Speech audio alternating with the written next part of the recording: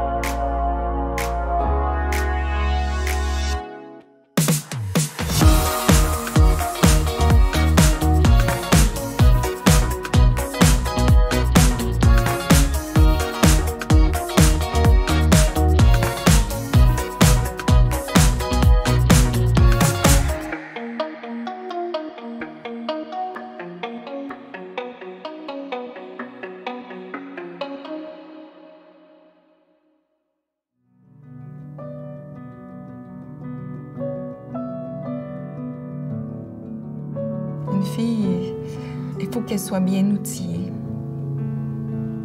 pour passer à travers tout ce qui va leur arriver.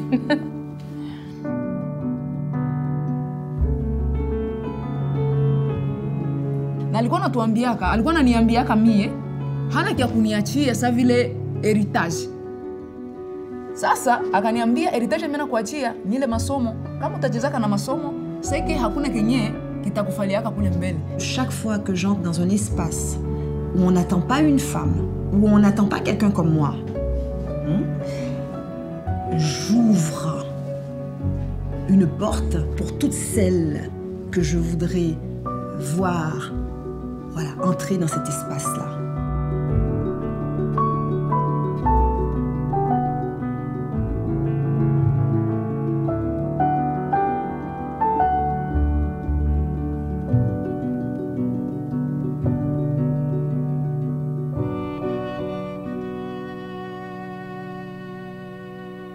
À Casablanca, une grande ville quand même de 3 millions d'habitants. Et j'ai décidé de me présenter aux élections législatives. Et je n'ai pas été élue, bien sûr, parce qu'il y avait zéro femme au Parlement.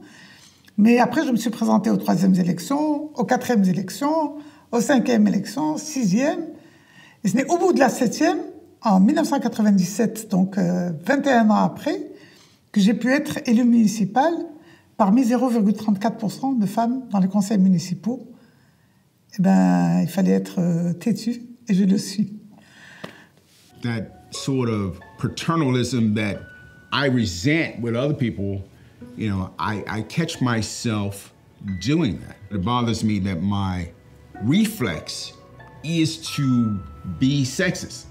عم حط اللوم على هالمجتمع الذكوري اللي بخليني على طول متذكرة اني أنا مرة وما بخليني انسى اني أنا مرة وبخلي الرجال على طول متذكر انه رجال وبحاجة يثبت لكل اللي حواليه انه رجال I was a strong woman. I never imagined that I would be in a relationship with a man that would physically abuse me. It didn't take me long to realize that I would die in this relationship. If I didn't leave, I would die.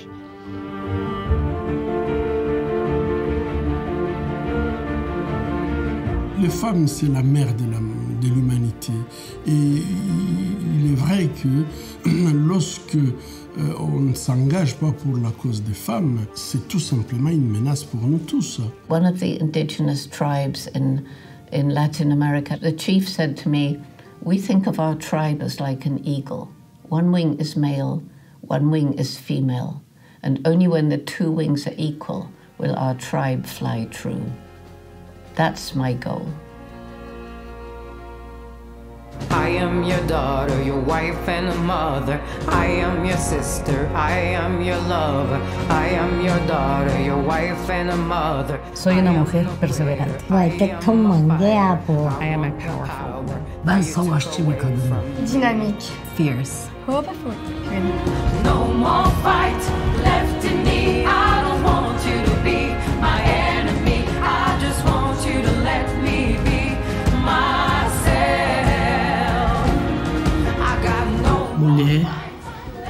merece respeito.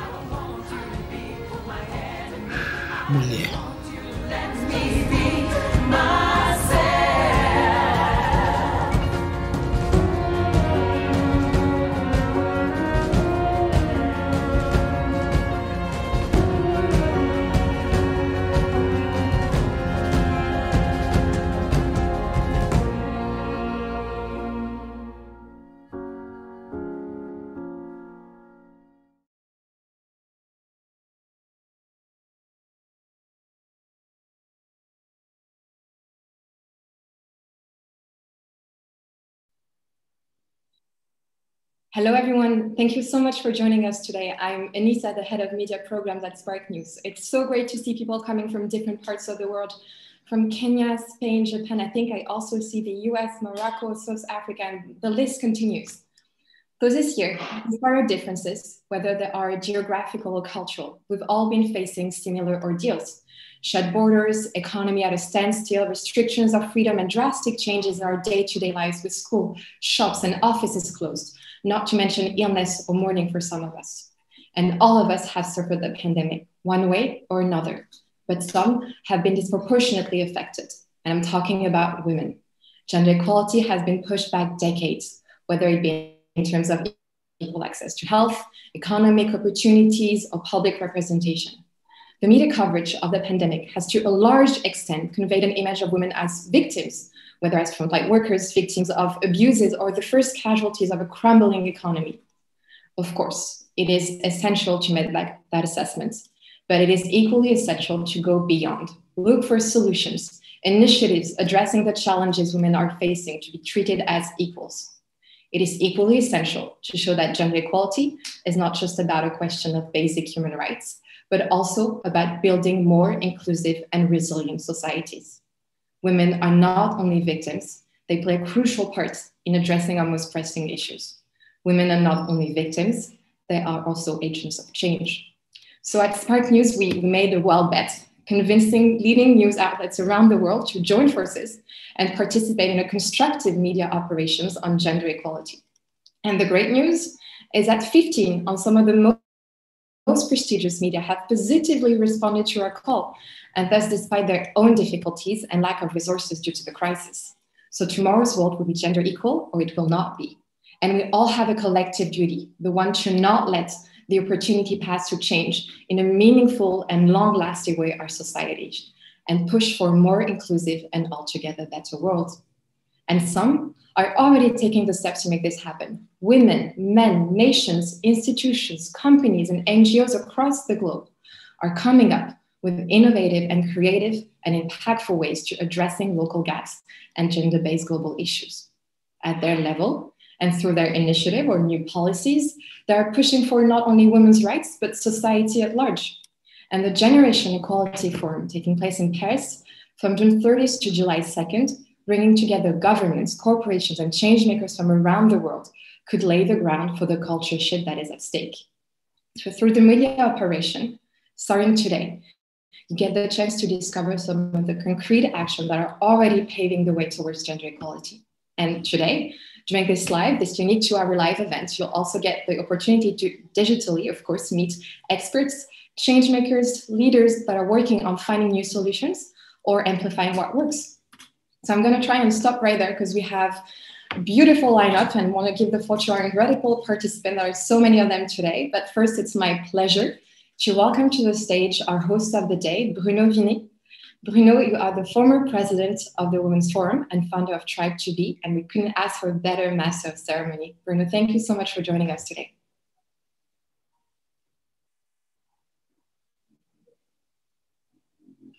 Thank you. Thank you, Anissa. Uh, hello, everyone. And uh, thank you all for joining us for all around the globe.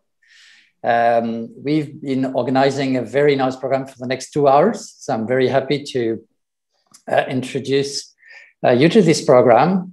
Uh, if you are with us today, it's because you feel concerned by gender equality issues. Maybe you are already an activist uh, on the subject. Maybe you are not but uh, you'd like to understand how to do, how to change things. So to open this uh, live event, we are very honored to welcome Phumzile Mlambo-Ngcuka, who is UN Under Secretary General and Executive Director of UN Women. Uh, please, uh, Phumzile, the floor is yours. Thank you very much uh, for this opportunity uh, to tell you about uh, generation equality and hopefully to answer any of the questions you may have about uh, generation equality. Generation equality was born out of recognition that the implementation of the Beijing platform was moving very slow and uneven that the implementation of SDGs was moving slow, as well as the implementation of the Security Council Resolution 1325 on women, peace, and security was not moving very slow. For some reason, uh, gender equality in the global affairs manages to always get pushed back and not take the front line and uh, the strides that you expect uh, uh, from, from uh, gender equality. we then decided that we needed to accelerate the implementation of all these important documents because all of them uh, contain very groundbreaking uh, information about uh, women. Beijing platform, for instance, in Beijing, more than 26 years ago, uh, was a, a, groundbreaking moment where we adopted a blueprint with very specific demands for women all over the world. Because before that, there was nothing that united women around the world on the basic needs that women should have in every country. What Beijing Declaration uh, and, and Beijing Platform for Action introduced was a, a blueprint that uh, highlighted the most critical things that uh, women needed, and not just women, but girls. Women, for instance, from Africa in Beijing, were very insistent that uh, the girl child has to be profiled as a girl child, not just as a child, because she experiences specific injustices that are only meted to girls. Child marriage happens to girls. Female genital mutilation happens to girls. Uh, being kept away from school is a, a crime that is most common uh, for girls. And of course, there were also many issues that uh, seemed to be taken lightly, but were very traumatic to women, like women uh, dying while giving birth. Uh, women die in order for another child to be born. So maternal health created a, a quite a sprint, and as a result, uh, many countries created women's clinics.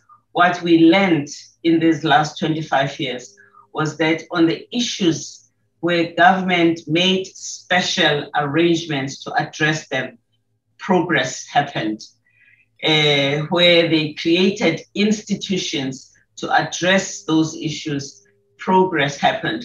Not perfect progress, but progress nevertheless. Girls' education did not become perfect. Many girls are still out of schools and dropping out, but many more girls are now at school as a result of the changes that were made uh, then. And of course, saddest, in the pandemic, it is these areas where we were making progress that the pandemic has hit the hardest. The pandemic has been much harder on those with the least possibility to defend themselves. Violence against women increased sharply during the pandemic.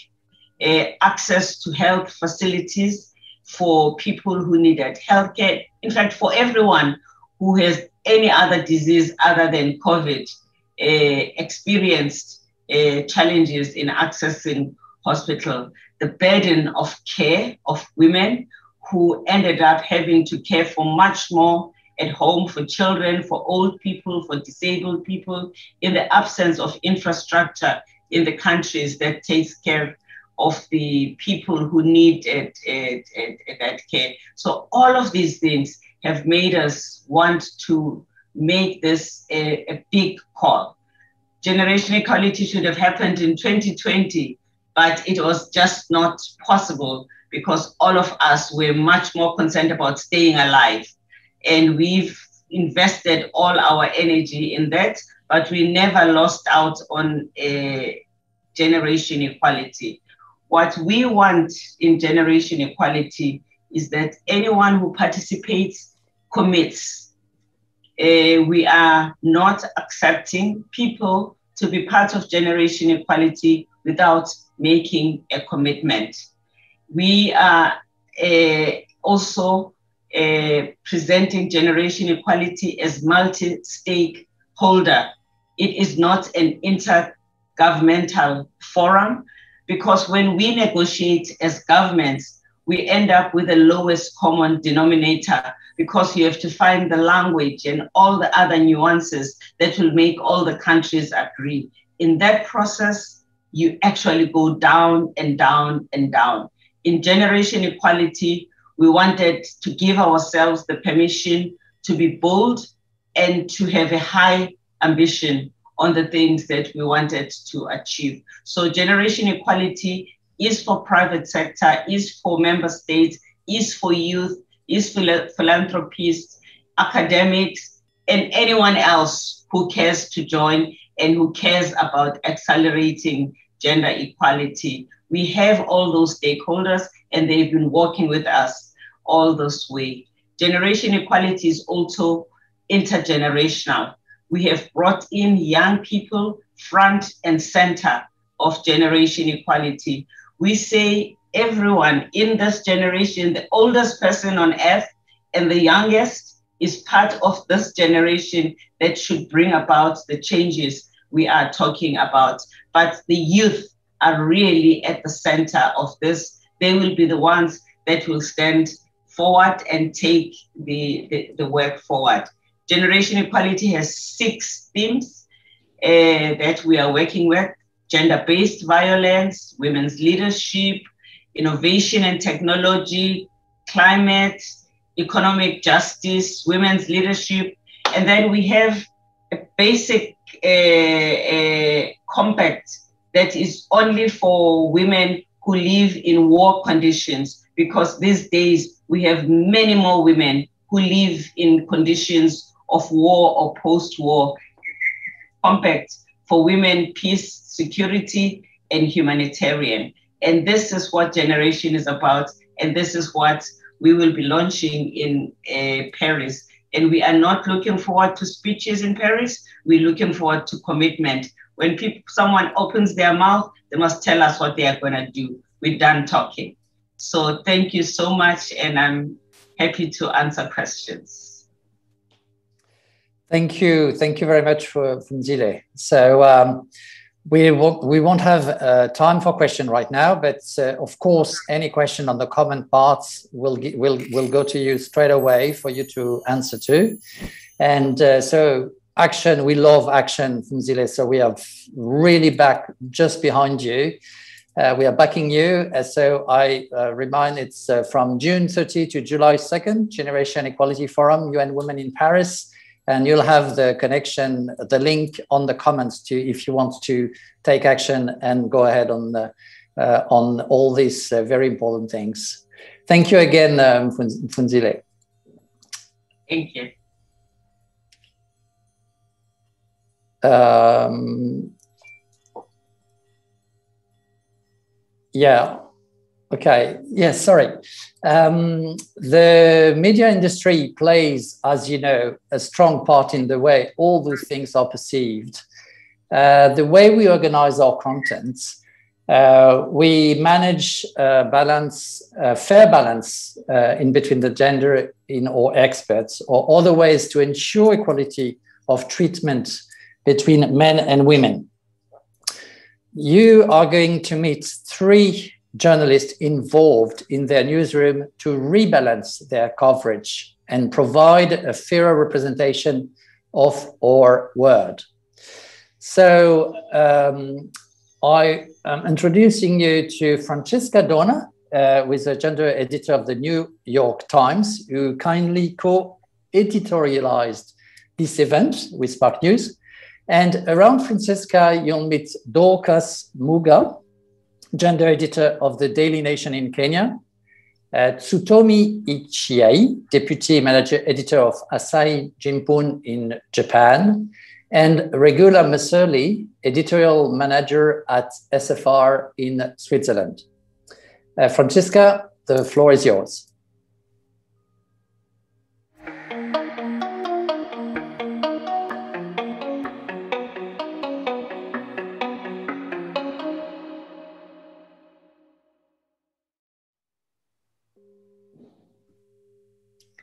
Wow, that was an amazing speech from Phumzile. We're done talking. I feel like we should just turn off our laptops now and make commitments. Um, I'm so honored, though. We are going to do a little bit more talking, and I am so honored to have these three extraordinary editors here with me today. We're going to talk about gender representation in the news. And what does that mean? Who tells the news? Whose voices do we hear? Whose stories do we tell? I opened my email this morning and was greeted with this statistic. It, to be fair, was from 2016. The Global Media Monitoring Project showed that 82% of news articles around the world were about men. For years, for years and years and years, the news has been told from limited perspectives, mostly male. The narrative is starting to change, but it is an uphill battle. There are traditions to contend with, the way things are done, there's stereotyping and assumptions, there are blind spots, there's deep cultural entrenchment. But there are also changes in the, new, in the news landscape that are making the news more representative. And I'm really glad that that statistic is from 2016. I don't have a statistic from 2021, but I know, I know that there are people who are making changes in their fields. And today I'm delighted to introduce three of them who are going to be talking about what they're doing at their news organizations to make them more representative. Um, I'm also really thrilled because this panel is so very global. Um, I'm going to use first names. They've all agreed to that. That's the American way. And also, we don't have a lot of time. So I can't, I have to dispense with Mr. and Mrs. and formalities. But um, Tsutomi is from Japan, from Tokyo. Uh, Regula is from Switzerland. And Dorcas is from Kenya. Um, and I am uh, in the US. So I feel like we have a really, really great global kind of cross section of what is happening in the media today. Dorcas, you're up. I'm going to begin with you. You are the gender editor at the Daily Nation in Kenya. And you have told me in the past that some of the other editors refer to you as Madam Gender. I can't decide if that is a good thing or a bad thing. I'm curious. When other editors see you, do they run away and hide when they see you coming their way? And what are you usually coming to tell them? Um, thank you, Francesca. Um, okay, um, first, I'm happy to hear from Phumzile. Um, we are done talking, so we're supposed to talk about commitment. And so, um, yes, I have colleagues who refer to me as Madam Gender. Um, initially, um, I took it with a negative, uh, um, uh, I looked at it from a negative perspective, but um, beginning to take it positively because um, I've realized that now they're accepting me and they know um, that my work there is not really to to sideline the male gender, but basically to bring about gender equality and to tell stories about both men and women um, in an equal manner, to give both genders an equal voice. Um, and so I take it positively because they know um, our objective, basically, as a newsroom or as a media house for that matter, is to mainstream gender reporting on all our platforms. And we need someone to, to constantly remind us when we sleep a bit um, that we need to toe this line. This is how we are going to achieve this particular objective of um, giving every gender an equal platform, giving every gender an equal voice um, to be heard, to speak, and to be seen. Um, so at the end of the day, uh, our consumers, our listeners, our viewers, our readers feel like they're actually equally represented. At the end of the day, my colleagues in the newsroom, both the ladies and the gentlemen, feel that they are equally represented and they have an equal um, platform where they can all tell their stories. And I'm, maybe I'm proud to say uh, something I've not said before is that I actually receive a lot of stories from my male colleagues now, uh, as opposed to initially. Um, I, I, should actually say like 70% of the stories that I get on a daily basis are from um, my male colleagues, and that is quite um, commendable. So we are not yet not yet there um, yet, but we're getting there. And so the name Madam Gender to me, um, it, it empowers me and I take it, I've decided to take it positively. And I want to believe that even those who refer to me as such uh, are doing it, um, of course, with a light touch. Um, sometimes they'll tell me, oh, now you're here to harass us with your with your women's stories. And I'm, I'm I, I, I keep reminding them, it's not, gender is not about women. It's about both men and women. It's only that women have been marginalized for a long time and therefore we need to bring them up a bit so that we get that balance and we feel that we're equally represented and so um, I, think uh, everything just looks positive everything looks upward and um, looking forward to a time where now uh, the commitments that we'll be talking about in, in, in a few weeks in France um, will actually be implemented across the board. Thank you, thank you, Madam Gender. Thank you. Um, I love, I love how we are finding the good in that. Um, it can be extremely challenging and um, sidelining, honestly, to cover gender. Uh, Tsutomu, I'd love to go to you next. Um, my understanding is that your work in the gender space began with a gender declaration. And I'd love to hear a little bit from you what was included in that at the outset and whether it's evolved with time. And then I'm sorry, you can see I'm packing in all my questions. I'm wondering if you can see a time when a gender declaration would no longer be needed. Mm-hmm. Thank you, Francesca. It's really honored to be here today, and uh, also greeting from a country uh, with a ranking of 120 out of 156 in terms of gender balance. You know, just recently announced by the World Economic Forum. Overall, Japan is ranked as number three in the economy and a member of the G7 country. But uh, about talking about the gender equality, it's really, really low. Uh, so uh, today I can maybe speak something about uh, the reasons and also uh, talking about our own efforts. Uh, that is the Gender Equality Declaration, which you talk about just this. and we have announced this declaration last April. so we have started this project for about one year, some months. And uh, uh, why uh, we started this project? Because you know when we talk about gender equality in Japan, and we, uh, as a media, sometimes criticizes of the uh, you know uh, lacking of awareness and sometimes you know sexist remarks by the politicians. But at the same time, we have to look back ourselves. so you know media media country media companies is not an exception uh, for you know this issue. Uh, so first of all, we check uh, the balance. Uh, for example, our leadership uh, position in management and ed ed editors. Uh, when we started, like 12% by women. so and also you know some of the panelists of the symposium of the uh, international international conference hosted by us annually. Uh, sometimes you know uh, gender balance is not well well balanced. Like all you know uh, aged man and just a few you know young ladies. those imbalance not only in gender but also in generations.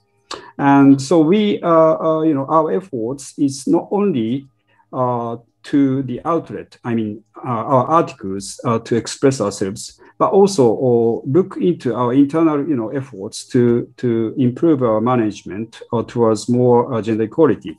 So we set up like uh, four major goals uh, to target goals. For example we uh, daily published an article uh, feature article about a person in news called hito means person every day we focus on one person who got some award or who uh, you know invented something or who did something who did some good achievement. And uh, uh, last year when we started this project uh, female uh, uh, you know percentage uh, of that uh, feature article consists uh, 28.4 percent.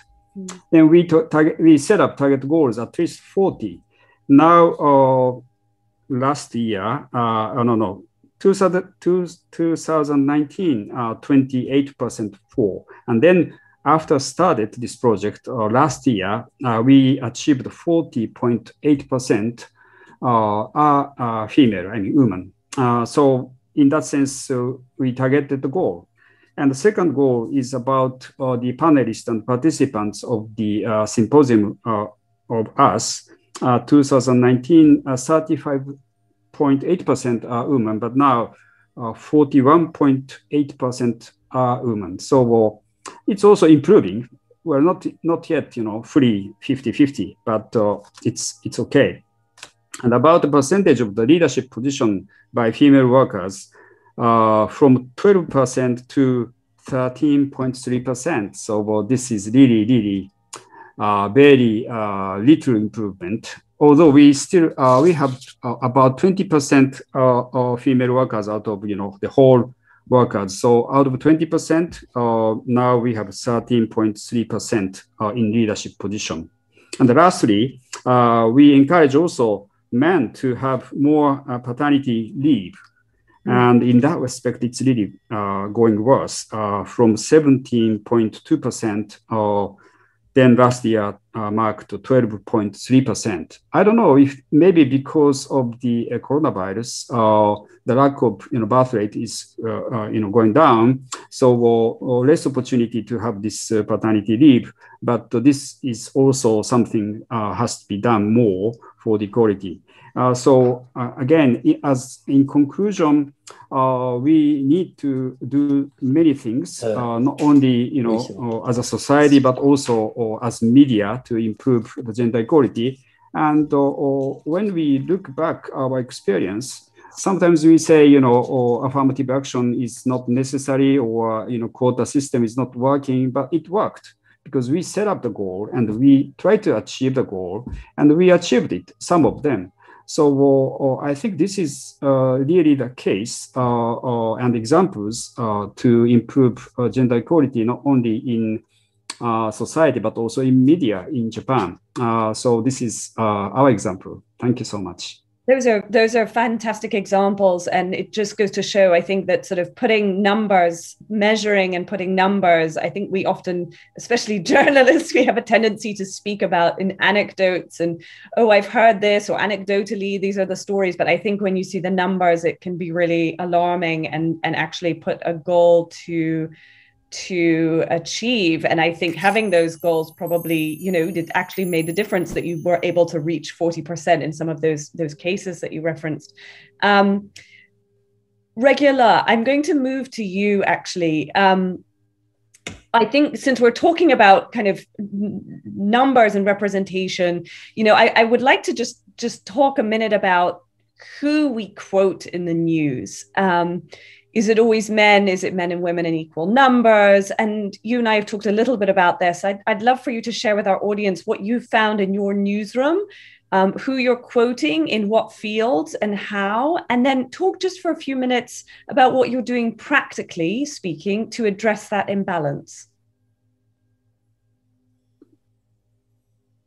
You're muted. Yes, I am. Sorry. Hello, everybody. Nice to see you and to hear you. So, um, in Switzerland, I'm working for the public news uh, broadcast company. So we are sharing the 50-50 project of BBC, what you probably know already. We started with that about one year ago. And um, we are on our way. We are not yet very successful. Everything goes a bit slow sometimes in Switzerland. As you know, the women's vote only came in 1971, the right for women to vote. So we have a lot to do. so we started with that BBC 50-50 project with the aim of to see and to hear and to read as many women as men in interviews, uh, in our text, in our uh, stories. And um, yes, we are on our way. I am sometimes, I'm not Mrs. Gender like you, uh, Dorcas, but I am sometimes a bit the annoying colleague from over there who says, Did you think about looking for a woman into your partner? that's that's a bit my role but i feel i'm not i'm not alone. I'm really we are moving we're going together forwards and now that make, makes me really happy. We have our company has like publicistic guidelines like our code of conduct and there it is written now that's very new that we want as many women as men in our emissions and that's really a good uh, a good principle. And the reason is not just being nice or being uh, in the time. It's really it's it's about journalistic quality. And that's our big that's our big um, thing. We our quality will get better when we have more women when we our when we show a diverse diverse society and that includes enough women. So now i see sometimes it's difficult even in the daily business. I see for tv for for my mission 730 we are a daily news program and we go fast and sometimes it's really difficult to find in short time a new interview partner because the men are here they are, normally they are here they have they have a routine and they are prepared to to give an interview. So we started to to to to change the workflow in the planning phase. We are looking for women. We are look. We're put, putting a database.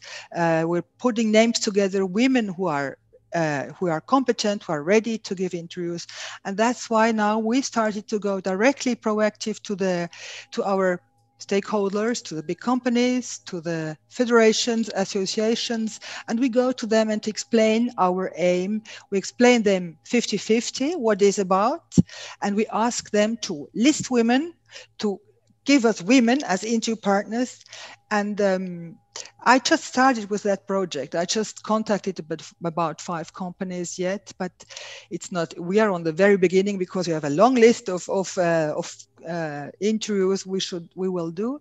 But that makes me really happy. I feel that these companies, I see that doors open, our ears are open. I feel that these companies or federation they want to show women representing themselves and that's well still on the beginning but that makes me really happy that makes me hope that i feel um, things are changing and not only we want more women but also our uh, our interview partners our stakeholders Totally. And it sounds like you've had a really good response.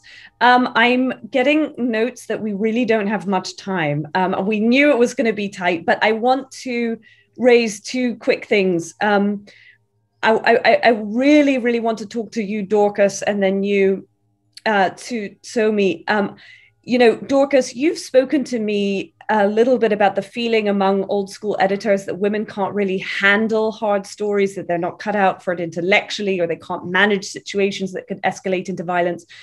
I, I would like it if you if you don't mind and, and speak quite quickly. What do you say to these people, or even women themselves, who say that this hard journalism isn't women's work? And quite quick, if you don't if you don't mind. Dorcas. Oh. The sound. Mute, maybe. Is she muted? Dorcas, you're muted. I'm sorry. Okay. Um, yeah, so um, I was saying that, of course, they're the old school journalists who believe that um, there's certain stories women can't handle. Um, but times are changing. We are getting more empowered women uh, thanks to the uh, trainings that we keep doing. Um, and so uh, currently we have a number of uh, female uh, journalists who are doing those so-called hard stories or difficult stories to handle, political stories, sports stories. We have um, sports reporters, um, both on broadcast and on print, and who are doing a tremendous job. In fact, one of our sports reporters recently won an award for the kind for the work that she's doing. Uh, but back to my um, so-called old school colleagues. Um, you see, everything is changing. Um, the, the, the world is changing globally. Um, our news reporting is going digital, um, so that not so much is being done on print, basically. And we have a new generation of journalists coming up who are more empowered as opposed to the, you know, the traditional journalists. And therefore, um, they have what it takes. Uh, when you go to our colleges, um, where the training takes place, you find that there's so many women. Actually, there are more women than men in the media schools. But when you get to the newsroom now, yes, you'll find the women, but they're, um, you know, they're basically the junior reporters and all. Um, but what um, like at at um, uh, at Nation Media Group, what has happened is that now we have an executive editor. Our executive editor is a lady, and she's really um, empowering the women. So that now we have quite a number of women in um, in middle management positions where they can make decisions on what kind of stories to be done. They can make decisions on who to send to the field to cover what kind of a story um, and also um, ensuring that even the young journalists, the new journalists joining the newsroom, uh, get to understand that um, they have what it takes to cover any kind of story. So there's that empowerment, there's mentoring of the younger girls, the younger reporters, the younger journalists, and just reminding them that um, uh, they're equal to the task and there is nothing that a male colleague can do that they cannot do. Um, so that consistent training, consistent um, mentoring, um, eventually we hope will, will, will lead us to that platform where now um, it, it, will be, it will not be um, uh, a dog, I mean, man, eat, man bite dog society when a woman uh, does a page one story on the newspaper, for example, a page one story that is a political story where there's a, a rally going on and a woman's byline is the one that um, uh, tells that story. Um, and at the same time, also the same, same um, um old school journalists, they, they, they, they tend to you know, they have this thought that everything is about women. When you tell a story, when you get the voices out there, you speak only to the men because if you're talking about um, discussing political issues or when the budget has been read and you want people to internalize what what is in the budget you can only speak to the men. Um, we are encouraging the reporters to also go to the women. I mean they have what it takes. They can digest this information to the readers and make it as easy as possible to the local um, uh, the community to understand what it's all about. So it's just about empowering across the board. Absolutely. I'm I'm really really getting in trouble on the timing. Um, and I, I, I, I but I just can't not ask this question of you Tsutomu because I I found that we had quite a, you had sort of a similar thought about what it's like for female journalists in Japan. You had said that many women, um, female journalists in Japan, are really struggling when covering politics in particular and then later on experiencing just a double standard of not being able to work because they're also trying to take care of their family if i may ask you to be really short because there's other people who need to speak after us but if you can speak to that to the best of your ability in a very limited time please Okay, yeah, I try to make it short. Uh, of course, I mean uh, there are so many issues about uh, you know gender inequality in Japanese Japanese politics, and uh, uh, still, you know, most of the politicians are dominate, dominated by male. Currently, the uh, only three uh, female ministers out of the 20 cabinets, and uh, also female uh, reporters has to deal with those old-aged uh, male ministers, and sometimes they have uh, sexist ideas and uh, or you know very much outdated idea. They thought it's conservatism, but it's not conservatism. It's really uh, outdated feudalistic uh, you know ideas sometimes. So we'll uh, really have to change their minds through so many ways. for example, introducing the world trend uh, because we are keen to the uh, atmosphere of the world trend. And so in that sense, I think the coming, uh, the Tokyo Olympics and the Paralympics would be a good opportunity to know or how the, uh, the world see uh, the current situation of uh, Japan in terms of gender equality. And the Olympics and the Paralympics is not only the, the sport event, it's really the event to empower all the people, including women, and also uh, care for the human rights and democracies. So in that sense, uh, this is really good opportunities. And also uh, this, the coronavirus could be the game changer in Japan too, because uh, usually our uh, way of coverage uh, to the politics and the politicians, we prefer face-to-face meeting. But now Mhm. we can we can't do that. So uh, we uh, more like to tend to t- send text messages and uh, or uh, phone conversations, which uh, makes uh, the female journalist, uh, you know, possible from uh, from the house while they are taking care of their kids. And also, you know, still taking care of the kids. but also also male journalist has to stay home so they have to take care of their own kids and uh, you know cooking and you know do some other home home workings as well so uh, i think this uh, could be the game changer for the, for the better Thank you. Interesting. Well, I think we all agree everyone, well, maybe not women, but others should be doing more unpaid labor, definitely. Thank you so much. I wish we had an hour. I wanted, I have so many more questions to ask you, but I really, I can't because we have to move on to the next panel. So I'm so grateful for your time. You were all extraordinary. And um, I look forward to meeting you one day when we can talk more. Thank you very, very much. Thank you. thank you Thank you, Francesca. Thank you all. You've been really, really interesting. We had a privilege to, to hear you. And I think it's good for all the journalists listening to you all over the planet to think that some may be ahead, but some know that have the, they've got a lot to do again. And we are all on the same boat. But the thing, what is good is everyone is moving on. That's great. Thank you again. Thank you all. So uh, many of the points you've raised also apply to the representation of women in uh, the collective subconscious. Art, movies, books, painting, loads of female representation can mislead and deliver the wrong message about gender equality. So we're going to see two, uh, we're going to meet two women right now. One is uh, Lucina Di Meco, gender equality expert of women's rights advocate, uh, sorry, and women's rights advocate. She co-founded the global initiative She Persisted against gendered disinformation. And uh, we're going to meet Anastasia Mikova, the director, screenwriter, uh, screenwriter, and journalist. You know, the one who produced a beautiful short video we saw at the beginning of this live. So let's have a chat with uh, Lucina and Anastasia, please. Technologies promise to change our world for the better. But the same platforms that were once celebrated for their equalizing potential have failed to deliver on their promises.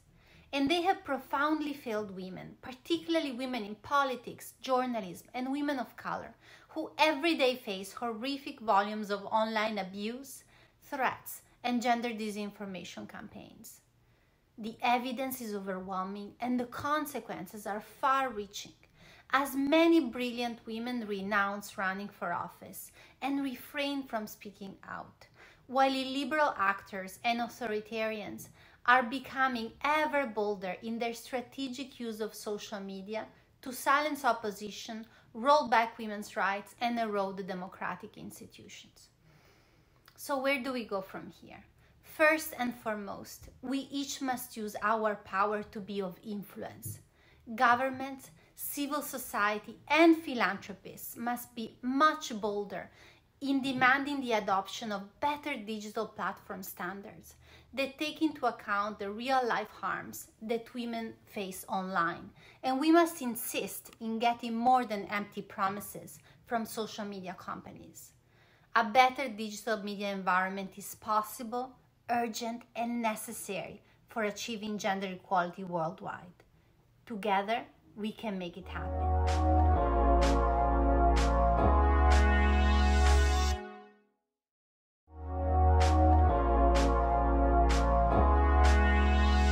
Hi, I'm Anastasia. Mikova, and I'm a film director. With Yann Arthus Bertrand, we have created a film which is called Woman. It gives a voice to 2,000 women in 50 different countries. Actually, working on this film for the very first time, I physically felt that invisible bond that links all of us, women from all around the world. I could finally understand what the words sorority, sisterhood really mean. But what I also discovered is how much violence there still is and how many discriminations women still have to face. And my field, cinema, is not an exception. Only 25% of films here in France are directed by women. And even though this number sounds very low, it's actually the highest one in Europe. And so, if women's voices are not heard, if our vision is not represented, how can we really you know, uh, reach change? How can we really uh, reach gender equality? I truly believe that cinema and art in general are the best way, or maybe one of the best ways, to change the mindsets. But for this, we need more diversity. We need more women to express their vision. We are half of the humanity, so why are we not there represented at the fair level? And with Yann, we wanted to create change on our level, so we created an NGO which is called Woman, Woman with a little S, and all of the benefits of our film, of our film, will go to this NGO to train women to media professions from all around the world. Because you know, if we don't do anything, we actually need another 120 years to reach gender equality. I don't have them, and I don't think you have them too. I believe we can all create change. It, we don't need to wait for tomorrow. We can do it now. So let's join our forces and create change today. Thank you.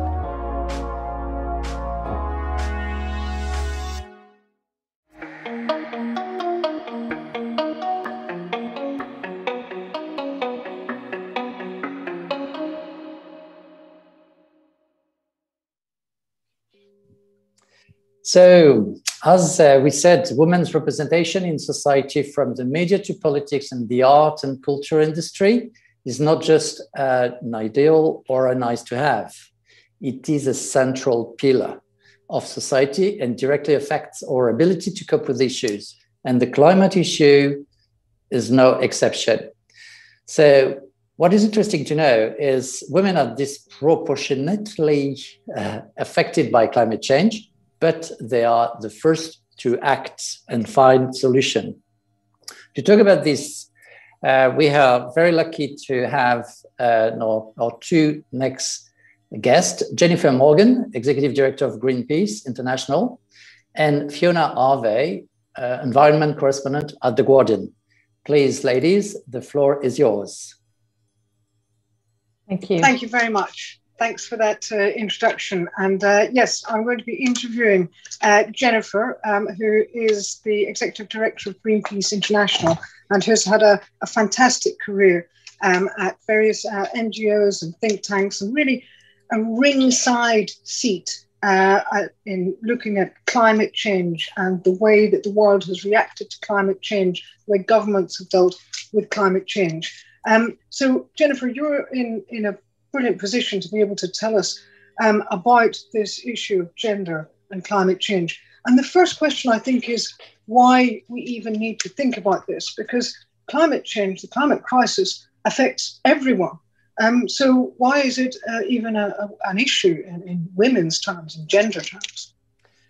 Well, I think there's two reasons. The first is that women and when Greenpeace speaks about women, um, we're talking about trans, non binary, and cis um, gender, but women are um, most impacted by climate change. So if you look at displacement, 80% of the people who've been displaced by climate impacts around the world are women. Uh, if you, you know, if you look at um, uh, the linkages between kind of women who are often um, 70% of the world's poor are women. Uh, so if you're looking at the climate impacts hitting hard, then women and girls are particularly vulnerable. Um, but the second reason is because of the of the fact that we need to get out of this crisis, and that women are particularly well placed for a range of different reasons to be the solutions makers, uh, both on increasing the resilience on the ground, but also in um, you know, bringing forward sustainability, whether it be on corporate boards or uh, within government. How can women do that? I mean, if you're talking about women being on the front line uh, of climate change, um, how can we empower uh, those women, first of all? Well, I think the first, you know, one thing to understand um, is that the system that has created climate change has also the same system of uh, dominant groups, mostly uh, so men, um, who have created inequality, have created systemic racism. And so I think one piece of, of empowering or engaging is actually to have that realization and then to be working together uh, to make that kind of systemic change where you have the well being of women and girls and people as a whole uh, to be prioritized over kind of the short term profit of the dominant groups of society who are trying to hold on to power. And I think once you, you know, make those connections, the community is massive. Uh, and you can build uh, power and build, um, you know, act, activism uh, on the ground to be challenging those those systems of power. And women face particular difficulties doing that, though, don't they?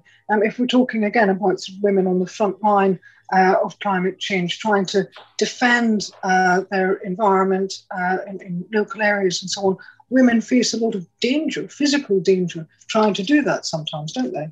Oh, they absolutely do. And I think we've seen recent work happening as far as um, during COVID crisis, the absolutely despicable increase uh, of those dangers. Um, it's almost like when uh, studies that are coming out that are showing that that men often will use a crisis to reassert control um, and dominance to erase well-earned women's rights. So you have um, kind of these multiple multiple risks and dangers that are there, uh, which which make it very challenging. And in certain parts of the world, I mean, I am a I'm very privileged and I have experienced what it's like to be a white woman from the global north. I have more access, I have more safety uh, than marginalized women who are out there on the front lines.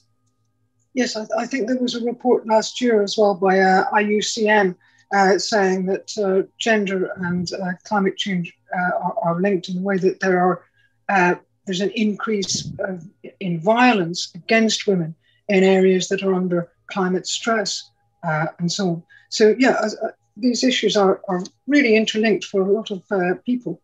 Um, what about, you talked about uh, women in positions of influence and power in boardrooms uh, and so on.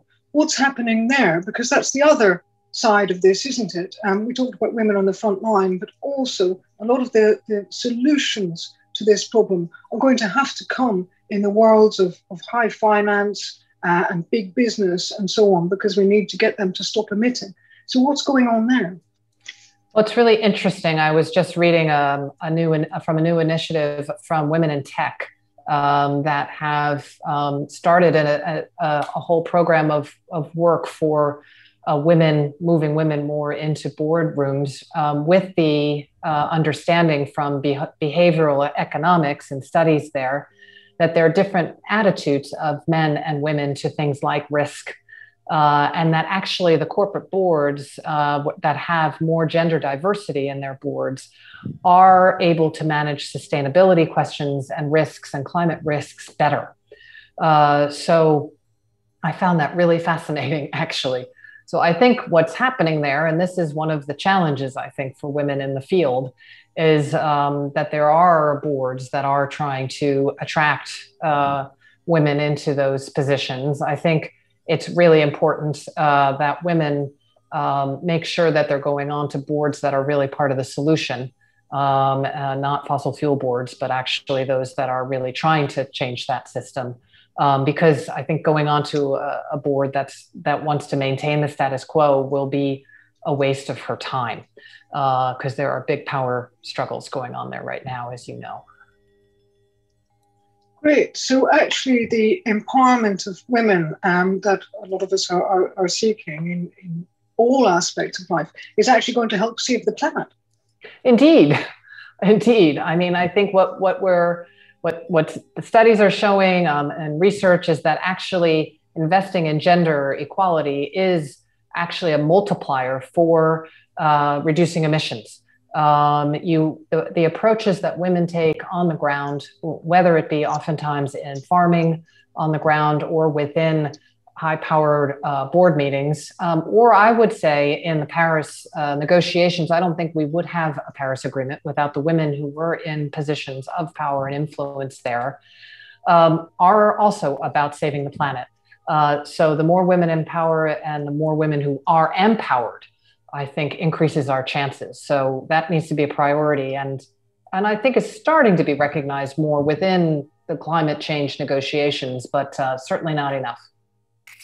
Yeah, that's a really interesting point because, um, yes, as you say, uh, it was really noticeable uh, at Paris and at various other international uh, climate meetings held by the UN uh, that women have often taken a very central role. We had the uh, chief of the UN uh, climate, the, well, the UN's climate chief, rather, um, at Paris was a woman, Christiana Figueres, and the chief French negotiator, Laurence Tubiana, at Paris was a woman women have been in these very influential positions when it comes to the climate change negotiations. But has that come through in action? Is there enough uh, within uh, the Paris Agreement and within the current UN talks that are going on? We're heading up to a very important conference called COP26 later this year, uh, where a lot of the uh, parts of the Paris Agreement will be put into full implementation.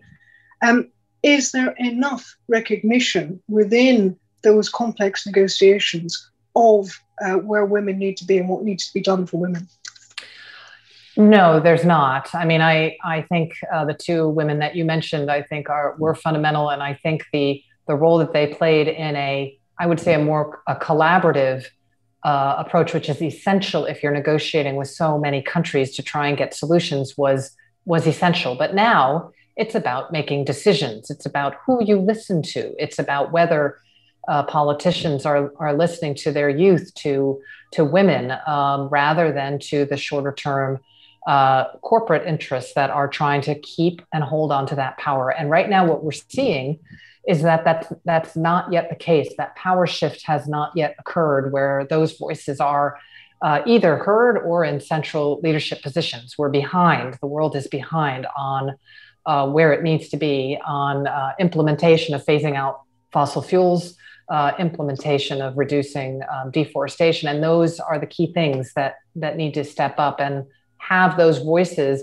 I don't I don't know about you, but when I when I meet with um, youth activists, the vast majority are women and young young women and girls. It's really amazing, and uh, so let's get them up there because uh, the politicians right now are are not doing the job.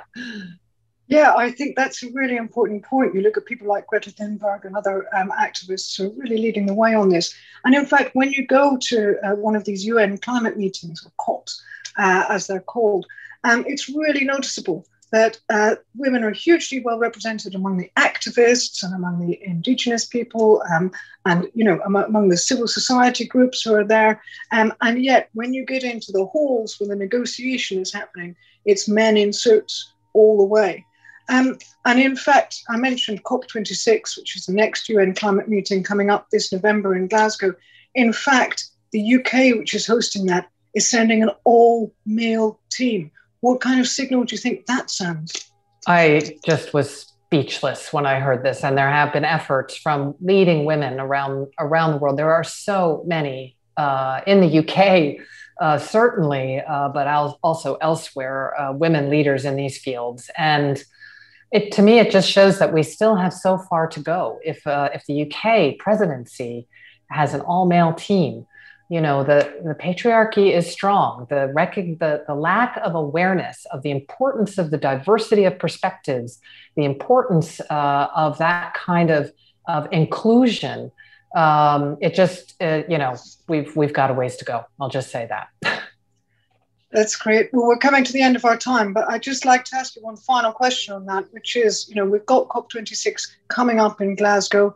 Um, what's the most important thing do you think can happen there for women when we're looking at the climate fight? I think the most important thing that can happen there for women is that uh, governments come forward and, and double down and put forward the not only the goals but actually the action plans that will more than have global emissions by 2030 because that will reduce the damages that are hitting women uh, most most terribly around the world. Jennifer, thank you very much indeed. Thank you for taking part. It's been a great conversation. Thank you. Great to be with you. Thanks. Thank, thank you. Thank you so much, Jennifer. Thank you, Fiona. Sometimes I feel ashamed to be a man. We need At you least- too. You can be proactively anti-misogynist, and I'm sure you are. So I am. great. At least I don't have a suit on. That's one thing. but well, thank you both for reconnecting the dots between the two major challenges of society have to address if we want to build a truly sustainable world. So thank you very much You're to you both. Uh, moving on, uh, women, women act. That's for sure. They do. They do indeed. So, um, don't know if you know if you heard about the Women for Climate initiative uh, by the C40 Leaders for Climate. They empowers and ins- inspires the next generation of uh, climate leaders. So let's hear from them. And um, we are lucky enough to have a little uh, moment with Mayor Aki-Sawyerr of Freetown in Sierra Leone. Uh, she's a woman for climate champion and she's putting words into action. Please uh, have a time with uh, Women for Climate. The climate crisis affects us all. Climate change is real. But those who've done the least to cause it are paying the highest price. It's hurting the poor, the elderly, people of color, women, and children the most. We need the people and communities Who are most vulnerable. and most impacted. to be involved in decision making. We can't have climate justice without social, racial, or gender justice. We need women to be at the table, in office, in the streets. leading the charge for transformative change. We need you to join our network of climate leaders. We are Women for Climate. From Barcelona. Auckland, Freetown, Lima. Lisbon. London. Montreal. Addis Ababa, Ethiopia. Mexico City. Sydney. New Orleans, Paris. Toronto, Tel Aviv, Vancouver. We work in waste, sustainability, in urban experimentation, marketing, clean energy, renewables, green finance, textile. Our projects are helping to build safe, resilient, and equitable cities. and a future that includes everyone. No matter where you live or who you are. through the Women for Climate Mentorship Program. We are learning from each other. We share our experiences, our knowledge, our achievements, and our challenges. The Women for Climate community has given me hope, network, the platform to act, an amazing learning opportunity, leadership, empowerment, conviction. Join us. Join us. Join us.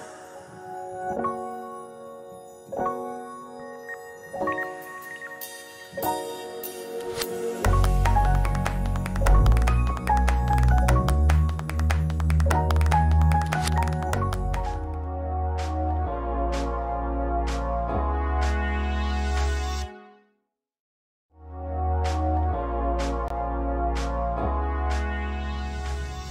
name is Yvonne Aki-Sawyerr and I'm the mayor of Freetown. Climate change is having a devastating impact all around the world and Freetown is no exception. We feel the effects in two ways.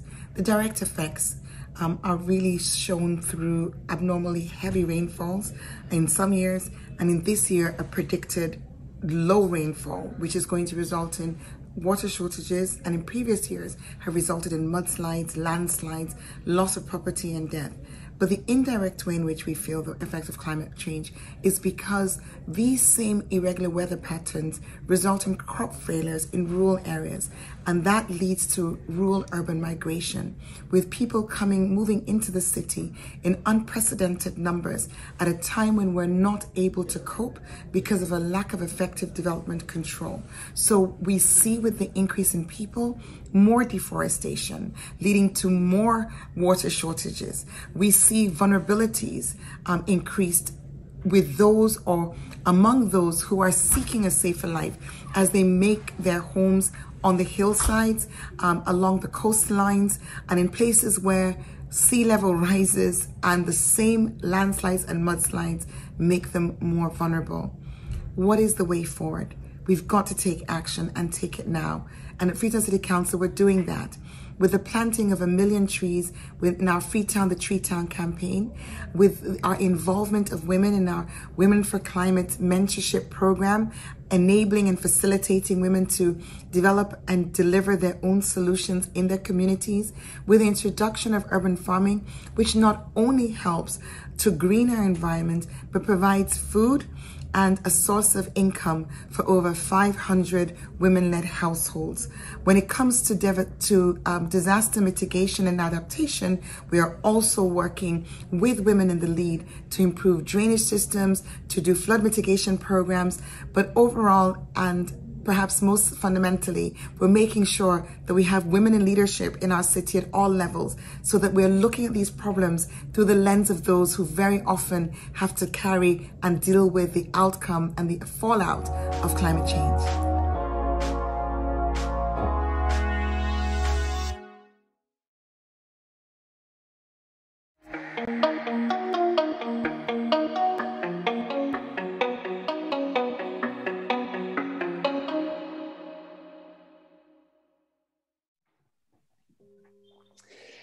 Speaking of uh, speaking of uh, women being real players, we're going to talk now about empowerment.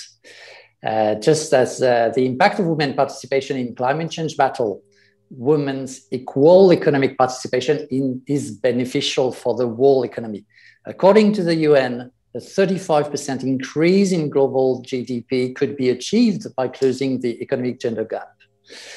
So for the next session, uh, Alisha uh, Gupta, a gender reporter at the New York Times, uh, welcome to you. You're going to be surrounded by very uh, three uh, uh, leaders in empowerment, let's say. I mean, specialists in empowerment.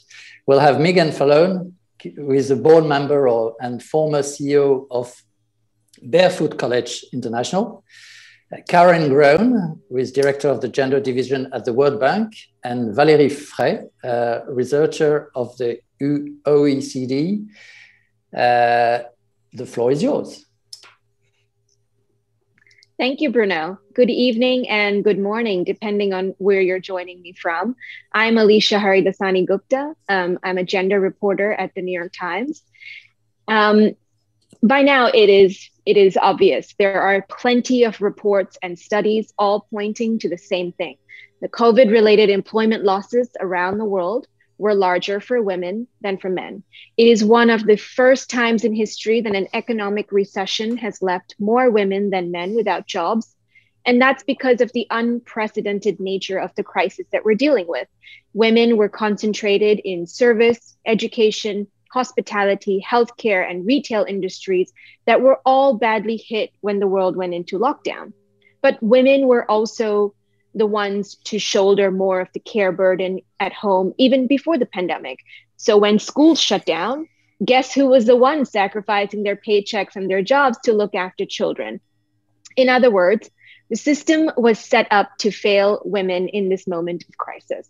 And I am so glad to have with me Caren, Valerie, and Meagan here to dive a little deeper into the data, especially Caren. I know you are on vacation, so I really appreciate your time and taking the day, time out of your day to join us here. So, so let me stick with you, Caren. The World Track has been, uh, the World Bank has been tracking annually the biggest barriers to full female economic participation. Can you give us a broad overview of the cracks in the system that COVID exposed? Oh, there are so many cracks, Alicia, and you pointed to a number of them. Uh, one that you mentioned, and I'll put it in more wonky terms, is sex segregation in employment. The fact that women are in sectors that have been really, really hard hit, particularly during this pandemic and the nature of this pandemic, which has had lockdowns and shutdowns and reduced mobility, those sectors where women work and hospitality and tourism is one of the contributing factors. But there's also other issues which you mentioned, which is uh, social norms, for instance, and the norm that women are largely responsible for caring. And even though we have some time use data that shows that men, men have stepped up, they really haven't stepped up in a way, enough or in a way to take off uh, the, the responsibility for women. And we have some really interesting data from women entrepreneurs that shows that women have spent six hours more per day uh, than pre-pandemic uh, t- caring for children, which has affected their businesses. But I also want to mention legal barriers. The World Bank Group has a publication called Women, Business, and the Law. And we actually uh, collected data during the pandemic. We've learned how to collect data remotely. And we have some really interesting uh, data that I thought maybe I could uh, share with you. So, um, our most recent report shows that where women have legal um, uh, rights and equal opportunities to access jobs, more women work and earn relative to men. But there are about 88 economies worldwide where women face some sort, form of job uh, restriction. And this can affect the job choices of nearly 2 billion women around the world. And it makes it harder for them to gain employment. Those jobs are in uh, transport or manufacturing or construction in water or energy. And those are the jobs that men largely hold and that pay more. And even where women can do the same jobs, they're paid less. Our research revealed that in 100 countries, it is legally acceptable to pay women less for equally valued jobs. Uh, in 38 countries, women can be fired because they're pregnant. And although more than half of the countries measure uh, mandated paid leave for fathers, the median duration is only one week. And in my mind, that is actually an issue that we really need to focus on in the recovery. Um, only 44 countries have paid parental leave. And women can't achieve equality in the workforce, as you know, unless they are, uh, if, if they're on an unequal footing at home. And finally, the uh, last thing I want to say is where women are legally protected from sexual harassment. And I mm. think this mm. is also important as we remember from the Me Too movement. More women have been found to be able to own businesses and operate businesses, but there are 49 countries that don't have laws on sexual harassment in the workplace. So I think there's a very strong case to be mm. made during the pandemic, uh, which we can talk about a little bit later, for making legal reforms. Right, of course. Thanks, Caren. That really puts into perspective 2 billion women are impacted by the laws in 88 countries. You know, when you put number to it, it really uh, is in your face. There's no ignoring it. Um, this is where I want to bring in Valerie. Um, there is one economic study from 2013 that I have read many times now, and you know that's very nerdy of me, but I always turn back to it in my reporting. It compared female labor force participation among OECD con- countries, and it found that in the U.S., labor uh, female labor force participation stagnated from the mid 1990s onwards, and it grew in other in those other countries. And the reason was because those other countries invested in things like childcare and workplace flexibility, which is something that Caren just mentioned. So I want to ask you, how have mothers fared in the pandemic globally? You know, we touched on this idea of care, but give us some of the numbers there.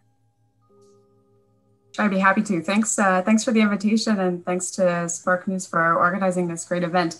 Um, uh, Alicia, as you said, yeah, I mean, we know across countries that there's sort of been different impacts on women. Overall, women have been negatively affected in terms of employment outcomes, but it's varied a bit by country, especially in OECD countries. These are the wealthiest countries in the world. They tend to have the highest levels of labor force participation. So, in a lot of ways, in a global perspective, uh, the OECD countries are sort of the best case scenario. They have the strongest social protection systems and so on. Uh, but one consist- consistent lesson that we learned, even in these very wealthy countries, is that mothers were really negatively affected in terms of labor force participation. So, looking specifically at mothers with dependent children, they were more likely to leave the ma- labor market than women without children, and much more likely to leave the labor market than men were. So that begs the obvious question why? What's going wrong? So, one crucial factor, which Caren just touched upon very succinctly, is these inequalities in unpaid work. So, prior to the pandemic, in every country in the world, uh, we know that women were doing more unpaid care work than men. We have some of this data represented in our OECD gender data portal and the social institutions and gender index. But Just looking at OECD countries, we know on average women do about two more hours of unpaid care work than men every day. And even in countries like Sweden and Denmark, it's still one extra hour per day. So, on the one hand, we have this really long standing, deep, inflexible inequality in unpaid caregiving tasks. And then on the other hand, we also know that women earn less than their male partners on average, right? So, from a household finance perspective, it makes a lot more sense that a woman would leave her job uh, if necessary. So, then it, I think it came as no surprise to anyone that when schools and childcare is shut down, women disproportionately felt this burden. They became the teachers and the child minders of children that would have been going to school or childcare. They're effectively, you know, unpaid agents of the state. Um, and in response, a lot of women left the labor market entirely. Some others cut their hours or their responsibilities. Um, and we have we have some evidence for this. So uh, in the OECD, we run a survey of 25 countries called the Risks That Matter Survey. And we just asked people, you know, during the pandemic, who took on childcare responsibilities when schools shut down? And 60% of women said that they took on the majority of work, and only 21% of men said that. So even if you account for some overestimation of one's time, I think there's a pretty clear gap there. Um, and we also see pretty big correlations related to length of school and childcare shutdowns. So and countries that had pretty long lasting school shutdowns like Canada and the United States, mm-hmm. where schools mm-hmm. closed well into 2021, working mothers were really hard hit in the labor market. But in countries where national shutdowns were a little bit shorter, for instance, in France, where I am now, schools shut down for about the first three months of the pandemic, we see much smaller job losses among mothers. Um, and we see similar patterns too when we look at closure of childcare facilities so for children who are not yet in school. Um, and I, I, would just I would emphasize too what what Caren said. We do time use data are still coming in, and I think that's something governments need to do better on. We need to collect more data on what people are doing at home. Um, but when we talk about these inequalities in unpaid work, I'm certainly not saying that men did not contribute. And there are some studies coming out, especially out of the UK, saying that fathers did more, especially when both parents were working at home. Um, and this can have good long term effects. We know this from studies on parental leave that if fathers commit early and they have to put this time in, that we see better long-term outcomes in terms of the division of unpaid work. So if there's a silver lining to all this, that might be it. Um, but on the whole, it's a lot for mothers to recover from. Yeah.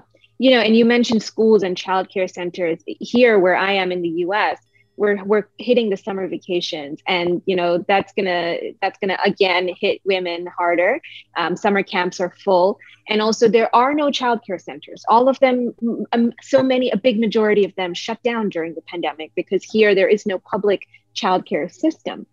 Um, so before, uh, so I actually want to bring in Meagan here. You know, all of the data we're talking about seems to be clustered around uh, the the formal labor market, right? What's what's measured in the GDP, what's measured in the in the labor force participation, but you have your finger on the pulse um, with women who have far less stability and visibility, and they're not often not counted in those in those metrics.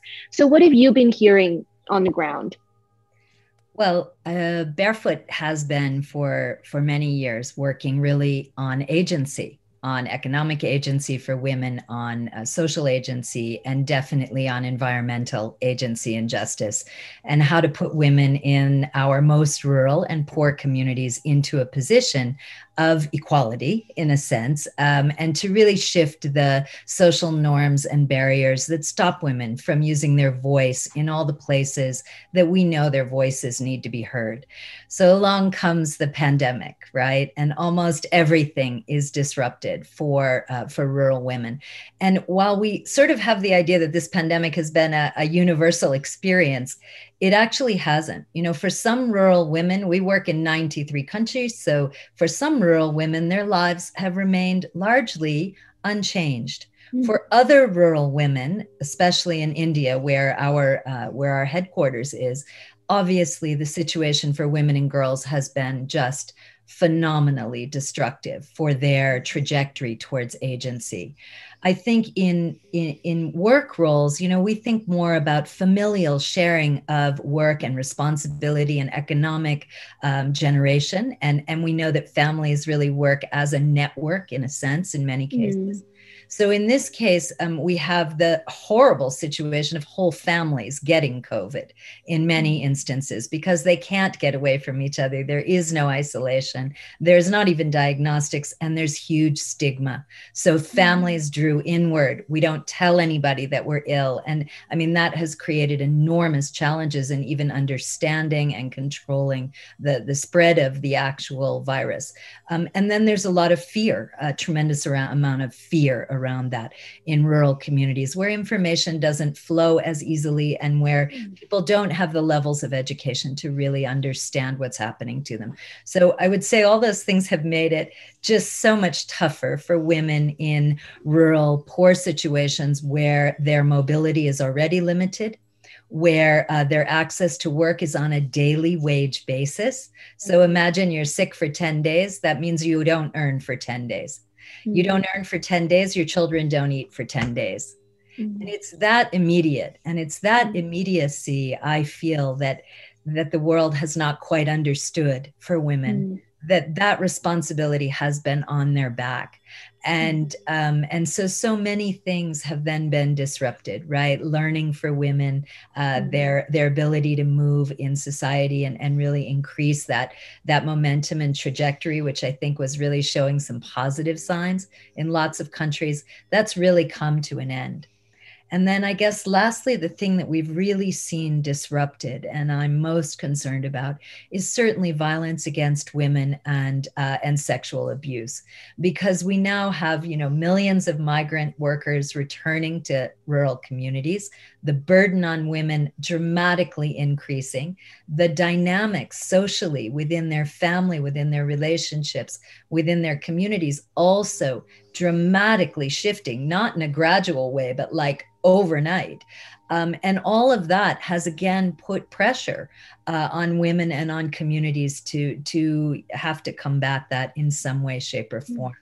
So I, I think it's a pretty a pretty serious situation as I see it in the developing mm. world, and um, most particularly around the progress of women towards better agency. Right, you're so right.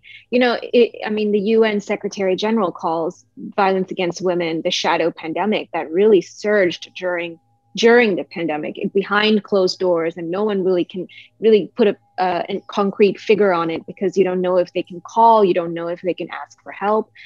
Um, but I want to try and look at some of the silver linings here. I know it's also bleak. Um, the report from the World Bank actually had a fun statistic that a lot of countries did implement policies that help women. Caren, give me a, a little more on that. I, I think that's really um, important. And I have to say that I think it's no longer just on the last point that Meagan made, it is no longer a shadow pandemic. It's out of the mm. shadows and into the public discourse. And I think in front of all of us. And I want to just say one word about this. We, we have data, uh, we're collecting through high frequency household surveys through multiple waves data including on increases in gender based uh, violence, calls to helplines, the administrative data on services. And I think this is one of the things that's really important for countries to prioritize going forward out of the recovery is how do they strengthen their national frameworks and action plans for prevention of and response to gender-based violence the health sector is clearly a sector that really needs to be prioritized in the recovery they need to have referral pathways they need to have trained uh, personnel and they need to have um, have uh, response, uh, the types of response services and supplies that are really necessary. And some countries are actually doing this. Countries in Latin America where we're working that we're working with have actually strengthened their frameworks. I can mention some of the countries in the Southern Cone. But more than this, just as you said, Alisha, there's cause for optimism. Despite the adversities of the last several months, at least 27 countries have actually made uh, reforms to discriminatory laws. So many of the reforms were focused on eliminating job restrictions and also targeting the gender wage gap. Others have passed good practice laws related to marriage and to parenthood or they have actually removed constraints to female entrepreneurship, recognizing the value of female economic activity to global growth and global recovery. Mm. But I do have to mention that many laws continue to inhibit women's ability to enter the workforce or to start a business. And many countries still need to reform uh, their restrictions that women face in the type of jobs that they do. For instance, uh, there's still countries that say that women cannot be metro operators, and they have mm. antiquated laws on the uh, jobs that require women to carry uh, 35 kilos, uh, which yeah. is absurd when you think about women carrying children who may weigh more than that or the kinds of hours that women can work. So those kinds of reforms are essential. Mm-hmm. But they also need to do, I think, three other things. Um, the US has just done this, and I think it's instructive. They need to make care services part of economic infrastructure and part of economic recovery. And they need to do that by helping make uh, care affordable and accessible as well as providing standards for quality of care because parents won't put their children in childcare unless they know that it's a quality service. So we really need to roll up our sleeves and put that on our, uh, our lens as much as we have education and health. Mm. The other two things that I think are important, um, and this goes to some of the comments that Meagan made, we need to accelerate digitalization we know that we cannot survive in the world economy today with access to some kind of mobile technology, having a phone, it may not even be a smartphone or access to the internet. We're working with countries around the world to accelerate digitalization of government services. So even when you think about re- education, remote education is key, but it's not going to reach uh, boys and girls unless girls have access to that uh, technology. And there's 150 fewer million women than men that actually have access to the internet or to digital services. Uh, this is the data from the GSMA uh, Foundation. And when we think about the kinds of uh, protections and uh, reforms that are needed, as Meagan mentioned, when we think about one thing that I think is critical is expanding cash transfers and social protection, particularly to women who mm. are in urban areas who may be day laborers or piece rate workers or to the rural uh, workers that Meagan mentioned. Social protection is key, but they women need to be able to receive that cash via a, a phone. They need to be able to have control over how they use that money uh, and what they do with it. So, as we think about recovery, digitalization is really key, but it's digitalization with the lens of women, the last mile as the first mile. Mm. And the mm. final piece is that as part of cash transfers, and this is um, very prevalent in countries like India, we need to think about not just delivering the cash, but delivering the cash plus other services that help women increase their productivity. So we call mm-hmm. it cash plus. It's access to savings, access to finance, market support. Um, mm-hmm. thinking about, and this hasn't come up yet, thinking about the kind of livelihoods that women are already doing, but in a climate smart way. Where are the green approaches to help women be able to transition for climate mitigation and adaptation. And we can do this through social protection services and programs, but we can also do it through um, services that help communities, community development programs, urban planning, all kinds of other things. So I think it's that holistic view of recovery. And this is the lens that I think will help economies become not just resilient, but really sustainable in a green way going forward.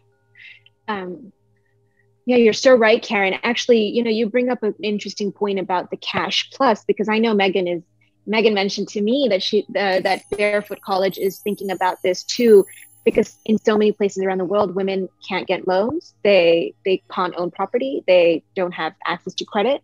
Um, so meagan tell me more about what you're help what you're doing to help there yeah, so I think you know to build on what Caren's saying, and and there are some amazingly um, hopeful things. Obviously, least of which is is the women themselves who totally amaze me every day at their resiliency and ability to just soldier on and actually thrive in in really difficult situations.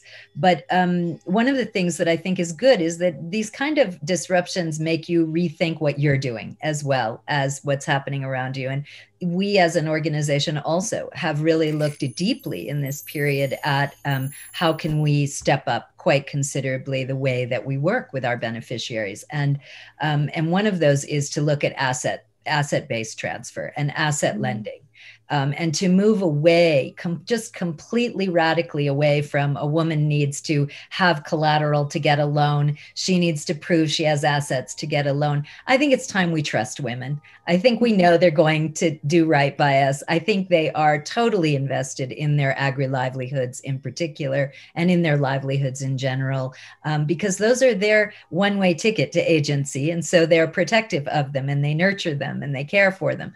And we need to really bank on that and stop just blah, blah, blah about that, right? So we developed um, a trust based credit survey. We're using different ways to talk about familial assets and networked assets in communities to be able to think about asset lending that's direct ownership to a woman, that of course is bundled with everything from um, the fintech that allows her to receive digital payments, her financial mm-hmm. inclusion and financial literacy learning um, mm. her ability to network with other women to save mm.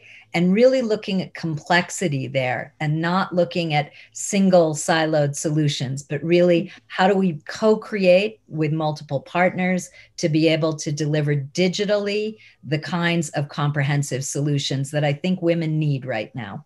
I would completely echo uh, that sort of drive. Interestingly, we also do an, an education program in rural areas mm. using digital tools.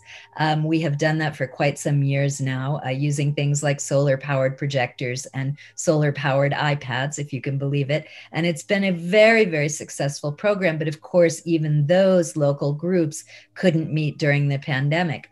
Mm. Interestingly, we started canvassing the families of all the children who participate, and it's mostly girls in our rural programs that participate because they're not allowed to go to school in many cases. And those schools take place in the evening. So a, a girl can help in the household and then still have her school time in the evening. But um, what we found is that actually one smartphone in a family goes a long way so we were pushing content to the one smartphone that that family had access to.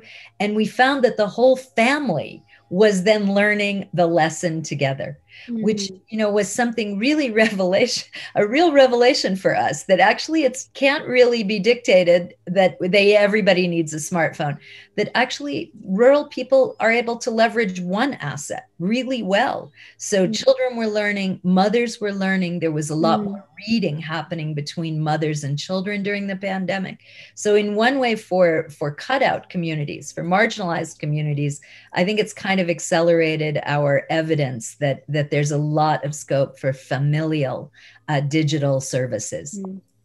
That is so fascinating. It kind of comes back to that idea that if you lift the, the most vulnerable, you lift everyone, right? Yeah. So you give women a, a, phone or an iPad, and sort of everyone around her is, is yeah. benefiting from that.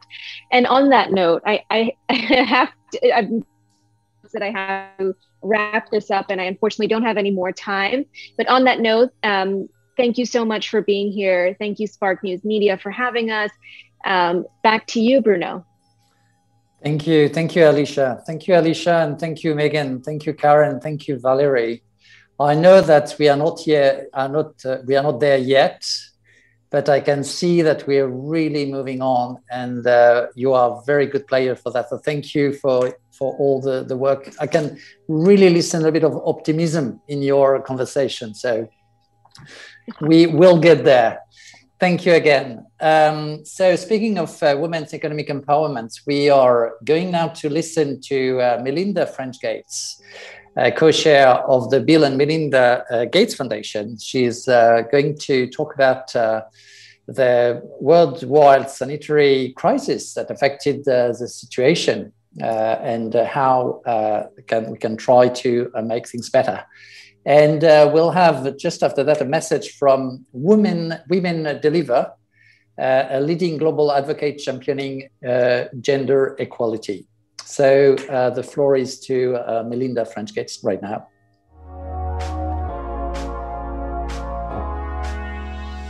Hello. In the 20 years I've been working on development, the spring meetings have never felt more urgent we all understand that we are in the middle of an international emergency. I hope we also recognize that we have everything we need to respond today in ways that make us stronger tomorrow. In institutions like the bank and the IMF, we have the power to act decisively. As a global community, we have the ironclad conviction that growth must be inclusive. It's an issue of fairness, and it's also an issue of good economics. Economic growth cannot be resilient when it leaves so many people out. The only way to rebuild sustainably is to make sure that all people enjoy the opportunity to build wealth and the security to withstand shocks. Let me be specific. This crisis has done disproportionate damage to the women and girls who have been forced to the margins of every economy.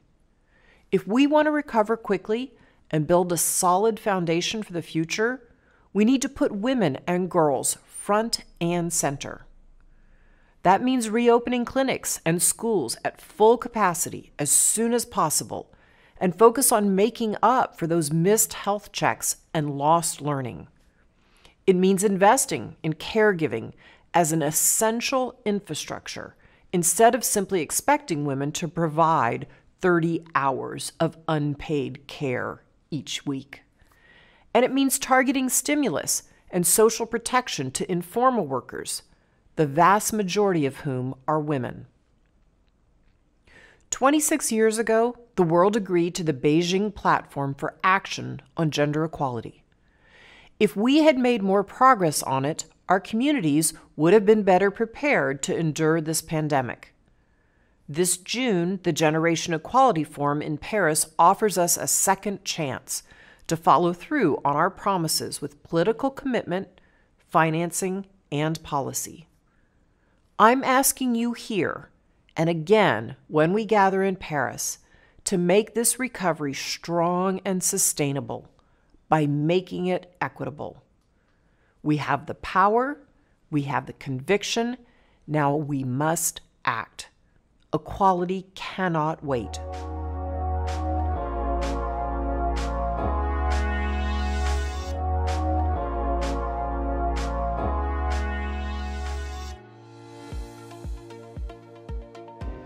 Women Deliver is a leading global advocate that champions gender equality and the health and rights of girls and women. Our advocacy drives investment, political and financial, in the lives of girls and women worldwide. Evidence shows us that ensuring women's economic agency is key to combating poverty, improving health, and leading to a more gender equal and sustainable world. Women Deliver is deepening its advocacy to advance women's economic rights and justice as a driver of gender equality through our organizational strategy. This becomes even more pertinent with health and economic crises, including COVID 19, exacerbating inequalities. We advocate for policies and programs that protect and advance women's economic rights and justice, including social protection policies around unpaid care, parental leave policies, decent work, and equal pay. We also push to reverse discriminatory laws and practices that disadvantage women and advocate for greater access to both programs and financial resources that help level the playing field for women's economic progress. Here are some examples of our work. With over a thousand members of our Young Leaders program, we provide support for our fierce youth advocates in their own advocacy efforts on women's economic agency in local contexts. Women Deliver conferences have traditionally provided spaces to mobilize collective action on key issues when it comes to economic agency and to launch the latest research in this area. We contribute to the evidence base and investment case for women's economic agency, for example, exploring the impact of having a child before 18. The Deliver for Good campaign, a multi-stakeholder coalition, mainstreams gender equality across the Sustainable Development Goals, or SDGs, including on SDG 8 on decent work and SDG 5 on gender equality. We see a focus in women's economic justice and rights as a means to advancing gender equality and sexual and reproductive health and rights, and to ensuring that all girls and women in all their intersecting identities can enjoy their rights. Learn more by visiting us at womendeliver.org.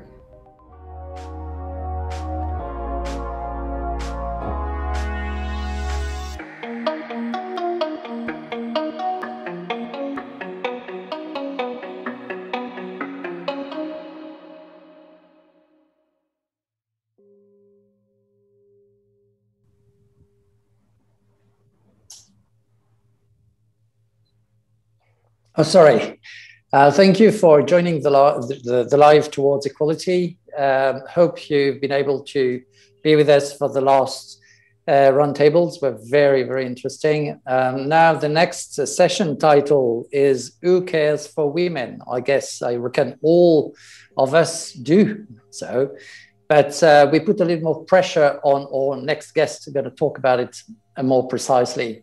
So um, I'm happy to welcome uh, Roopa Dhatt, who is Executive Director for Women in Global Health, who will be moderate the session. And um, she will uh, talk with Nimco Ali Obe, CEO of the Five Foundation. It's a global partnership to end female genital mutilation. Uh, Gary Bake Barker, Executive Director of Promundo US, and Delphine O, who is Ambassador and Secretary General of the General Generation Equality Forum uh, at the French Ministry of Foreign Affairs. Please, uh, Roopa, the floor is yours. Great. Well, thank you, Bruno, for such a warm welcome. And what an amazing afternoon. I, I can't believe we're, you know, coming to this, you know, last session here, but uh, a very exciting one. The topic of who cares for women is one that uh, I personally care very deeply about. And especially, this is a moment in our global history to really stop and take stock.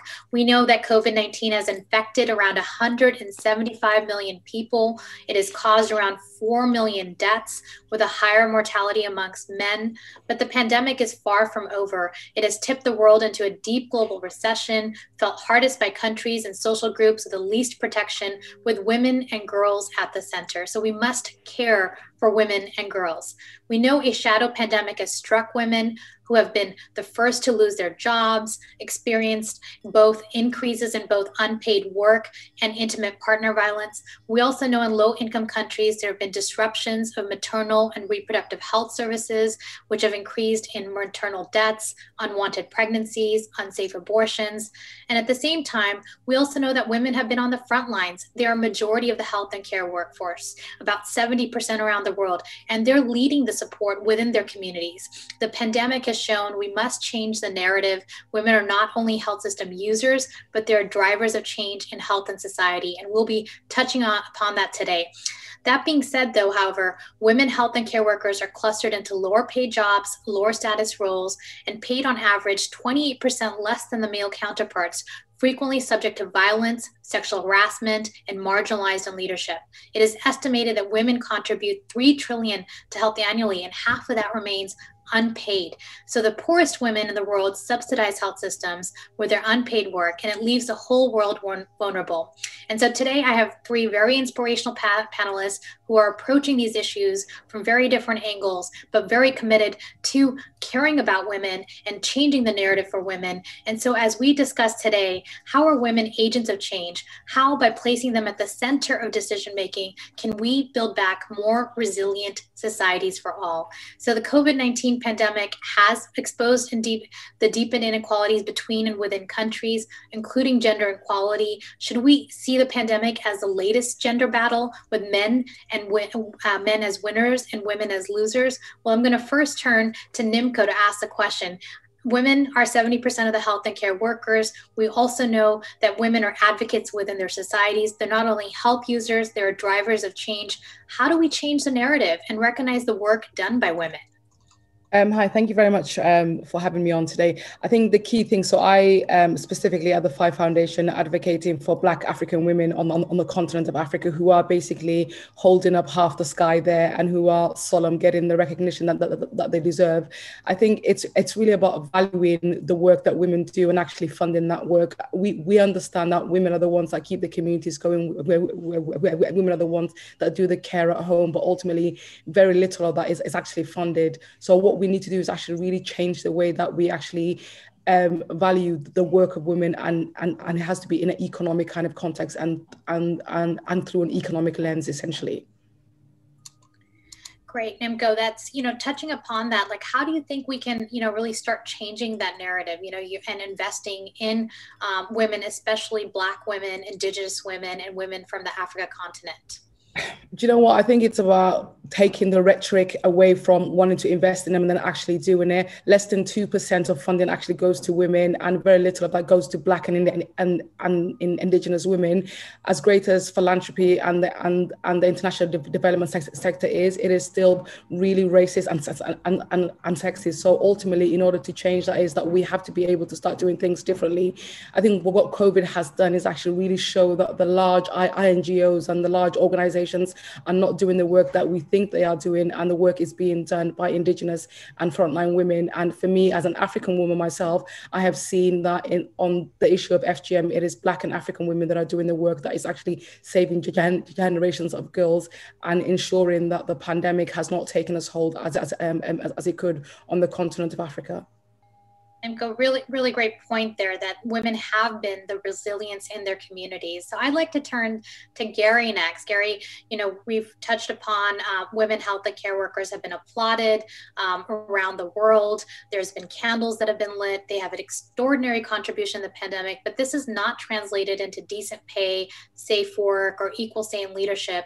How can we change that? And what are we seeing um, really uh, emerging as you represent um, you know work on particularly male male allyship? And what are we seeing um, that men have experienced in this pandemic that can actually transform this agenda?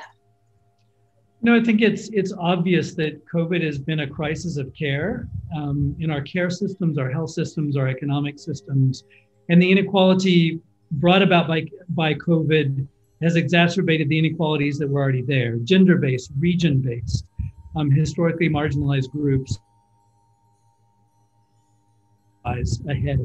And I think what, what we've also seen in COVID is a lack of imagination and the kind of policies in place to support care full stop in terms of care as a paid profession, but also care at home. Women have, even before COVID, have been doing 3.3 times the amount of daily care of our homes. And I think we've lacked imagination. I'm not just saying supporting that care, which we must, but to say men must do our share we've got to change even the, the language that we use about it. I'm tired of hearing men must help with care and, and turn the language around and said, no, miss, men must do our share of the care. We've looked at social protection policies, for example, where during COVID and before, 150 of them that we reviewed and the funding when their cash transfers going to women, which makes a lot of sense. And yet no nudges at all to say we need men to do our share of the care work. No country in the world, we just launched our State of the World's Fathers report this week, and we'll be sharing it at GF as well. No country in the world has a goal that we've been able to find of men and boys doing half the care work. We have lacked a goal and a vision on that. We have very little advancement of men in care in, in paid care professions. We continue to send the message that care is women's work.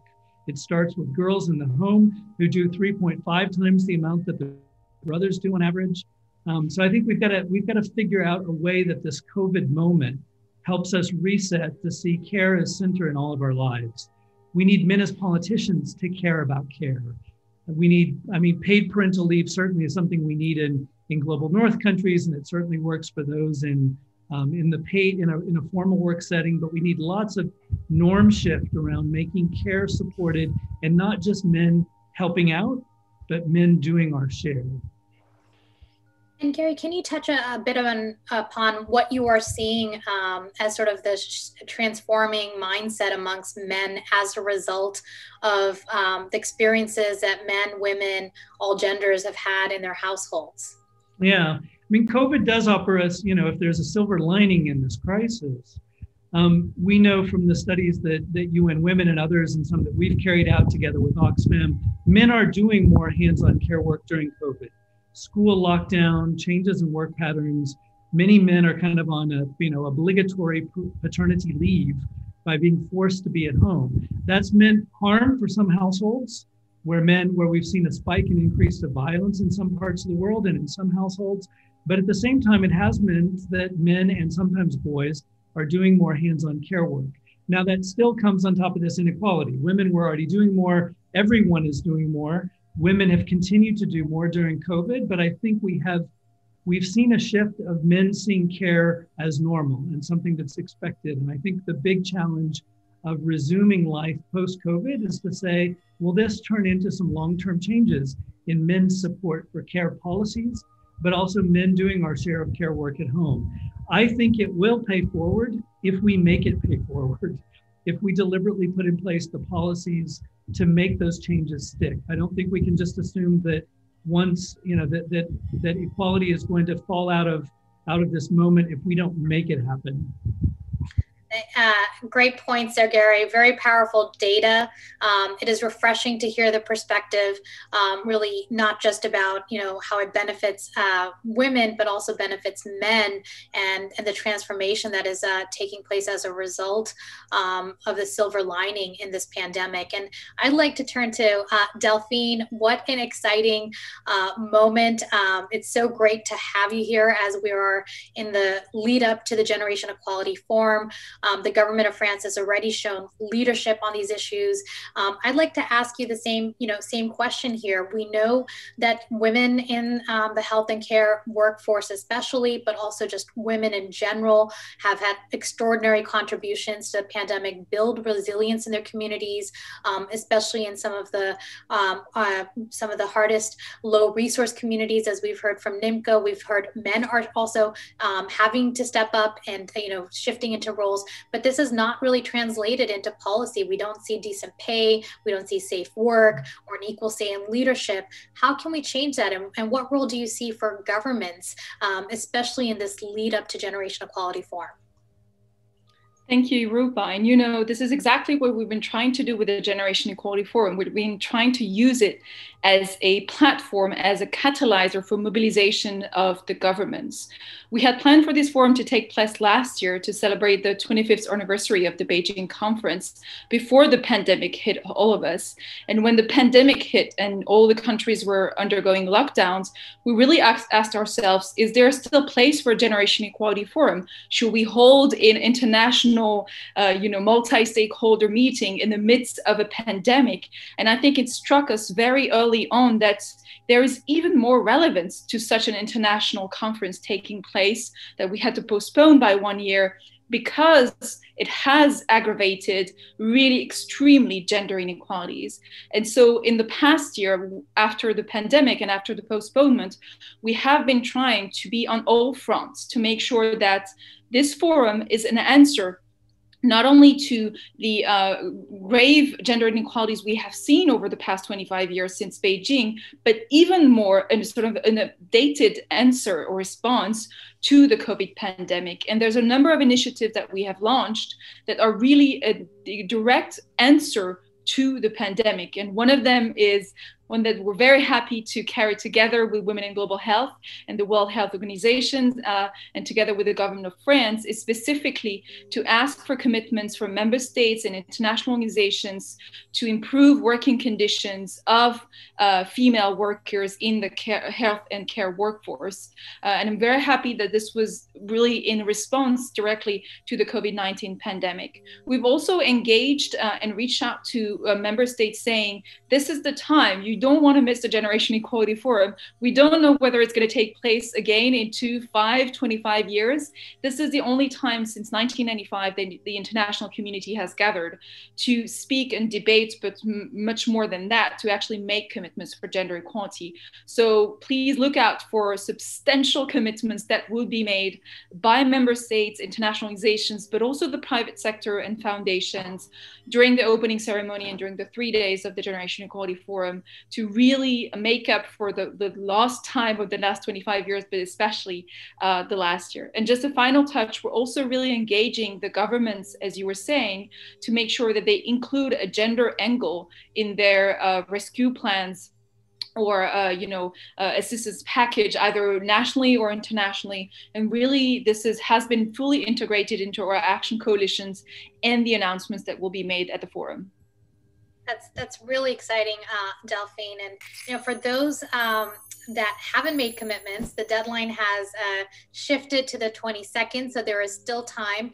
Uh, but for those that are still considering, you know, why why does this matter? Why are why is it crucial to address these issues when it comes to caring for women to having more gender equal workplaces and workforce? Um, how does this benefit society at large? What, you, what are you saying to convince them uh, delphine as, as you've been part of these discussions um, for over a year now Mm-hmm. Well, there are two arguments. There's the uh, social justice argument, and then there's the economic performance argument. And I think two of them are very are complementing each other. First, equality is, you know, is just a fundamental right. It's we're talking here about half of the humanity, and we like to say that the Generation Equality Forum is not a forum for women by women, we happen to have a vast majority of women involved in it, uh, but we're going to have also men. And, and thanks to organizations like Promundo, uh, we make sure that we have uh, male, you know, allyship and, and uh, involvement in the forum. Uh, but this is a question of just social justice. Uh, you know, equality in, is, is a fundamental right that has been recognized by the Universal Declaration of Human Rights more than 70 years ago. But the second argument is that we do know that societies that have a more equal um, uh, framework and system do perform better on all issues, on all aspects, not only economically, and that's for sure, that's also true of, of private companies, but also in terms of the general well being of the population, in terms of the Human Development Index, in terms of access to health, access to education. If you give education to girls, if you give access to health and sexual and reproductive rights to girls, you're going to improve all of your different uh, uh, rankings and, and factors and parameters uh, across the board. So that's uh, an extra argument. And I think I'm really realizing that more and more uh, governments across the world, including the global south, are coming to that realization that this is not just a, um, an equality issue, and that's very important. This is also uh, an issue for them to do better for their own population. Thank, thank you, Delphine. I think this is a, a great uh, moment to turn to NIMCO. You know, there's, uh, you know, the, the the issues that are affecting the global south but also you know a lot of what you talk about is um, already the talent that's there um, the agents of change that are already doing this important work. From your perspective what are the most important steps that we need to take to build back equal after this pandemic and really um, you know harness and support um, the talented women that are already agents of change in their society? And, and it'd be great to hear you know some stories and examples of this change happening yeah, thank you very much for coming back to me. There's incredible talent on the continent of Africa, and I think we also have to take take a moment and check our privilege because the whole point is there are women and girls on this planet that are fighting for basic human rights in, in, in countries where the rule of law is not even respected. So I do believe in the fact that we need to be able to pay care workers, but we're not going to be able to actually get a, a real value for women's care and women's work when five-year-old girls are being subjected to FGM in, in order to be sold for cattle. So we have to, as the people with power and the people with with with privilege really understand that it is not about talking about the care economy. It's, it's about really getting the foundations of humanity right and then building on that and then ensuring the fact that we can ensure that all women have access to contraception all women have access to employment and all women have access to the equality to be able to vote for the people that actually um, that, that that care about them. So for example um, Jaha Dukureh who's an incredible Gambian American woman in 2014 with $20,000 dollars banned FGM in, um, in, in, in, in, in, Gambia with, with less than $100,000 in 2019, actually got a fatwa passed against early forced marriage and child marriage. So the real work is being done by African women and it's being done by pennies. So while we talk about the underpayment of women in this side of the world and globally, women that are actually leading forces that are changing the, the lives of women and girls in their own communities are not being paid at all. So I think we have to check ourselves for a moment is pledges are great, but unless money is put in the hands of women and girls that are actually doing the work, especially black and indigenous and African women, then I'm not really sure that we're going to be able to achieve anything. And one thing that COVID has taught us is the fact that we have not had any global um, conference, but nothing has changed. So as as as, as great as gathering the, the good and the great it is in Paris or London or wherever However, things are not going to change unless we actually change the funding streams. And I really want to make a, um, a plea to that is the fact that 70 million girls are going to be subjected to FGM between now and 2030 unless we do something. Um, millions of girls are going to be millions of girls and boys are going to be born to the continent of Africa to girls who have been forcibly married, that are living in polygamous marriages, that are being forced to, to marry older men. So we can be here and talk about the care economy and everything else, but nothing is going to change unless we deal with the most vulnerable vulnerable people on our planet, which are African and Indigenous women. Thank you, NIMCO, for grounding us and checking the privilege and reminding us that the foundation to all of this is a strong human rights foundation, which girls have not had the opportunity to realize. Societies have not realized it for girls and women, and a lot needs to be done on that. Um, and especially, I think, in the Build Back um, Equal, build, Building Back Better, you've made it quite clear that we need to look at financial flows and making sure that uh, funding is getting into the hands of girls and women at the community level, especially um, on the African continent, but also thinking about uh, women from indigenous and other underrepresented backgrounds in, in power and privilege. So I think you very clear call to action. We must take these conversations uh, beyond where they are happening so there can be real change. Um, I'd like to turn to Gary next, you know, asking you very much a similar question. You know, what are the important steps we need to take to build back equal after this pandemic? You know, what is your, um, you know, call to action? One would be national care plans. Um, I think we, we've looked at Uruguay as one example in a case study that we provide in the report that I mentioned earlier. Countries that put resources toward, put the laws in place to say, we them through the care of our elderly, both in paid systems and in the home, I think is one. Two, I think we need clear, I hope my internet is still stable. We need a clear shift in, a, in an ethic of of masculinity. We need to promote healthy, equitable, caring masculinity from early childhood onward. And I think the promise of Generation Equality Forum is that how do we engage boys early on in promoting what caring, equitable man, the TV shows that our children are exposed to, children seeing their fathers involved in the home in caring ways. Third, we need men to be um, allies in ending violence once and for all against women of all kinds, whether it's FGM that Nimco's been talking about and others.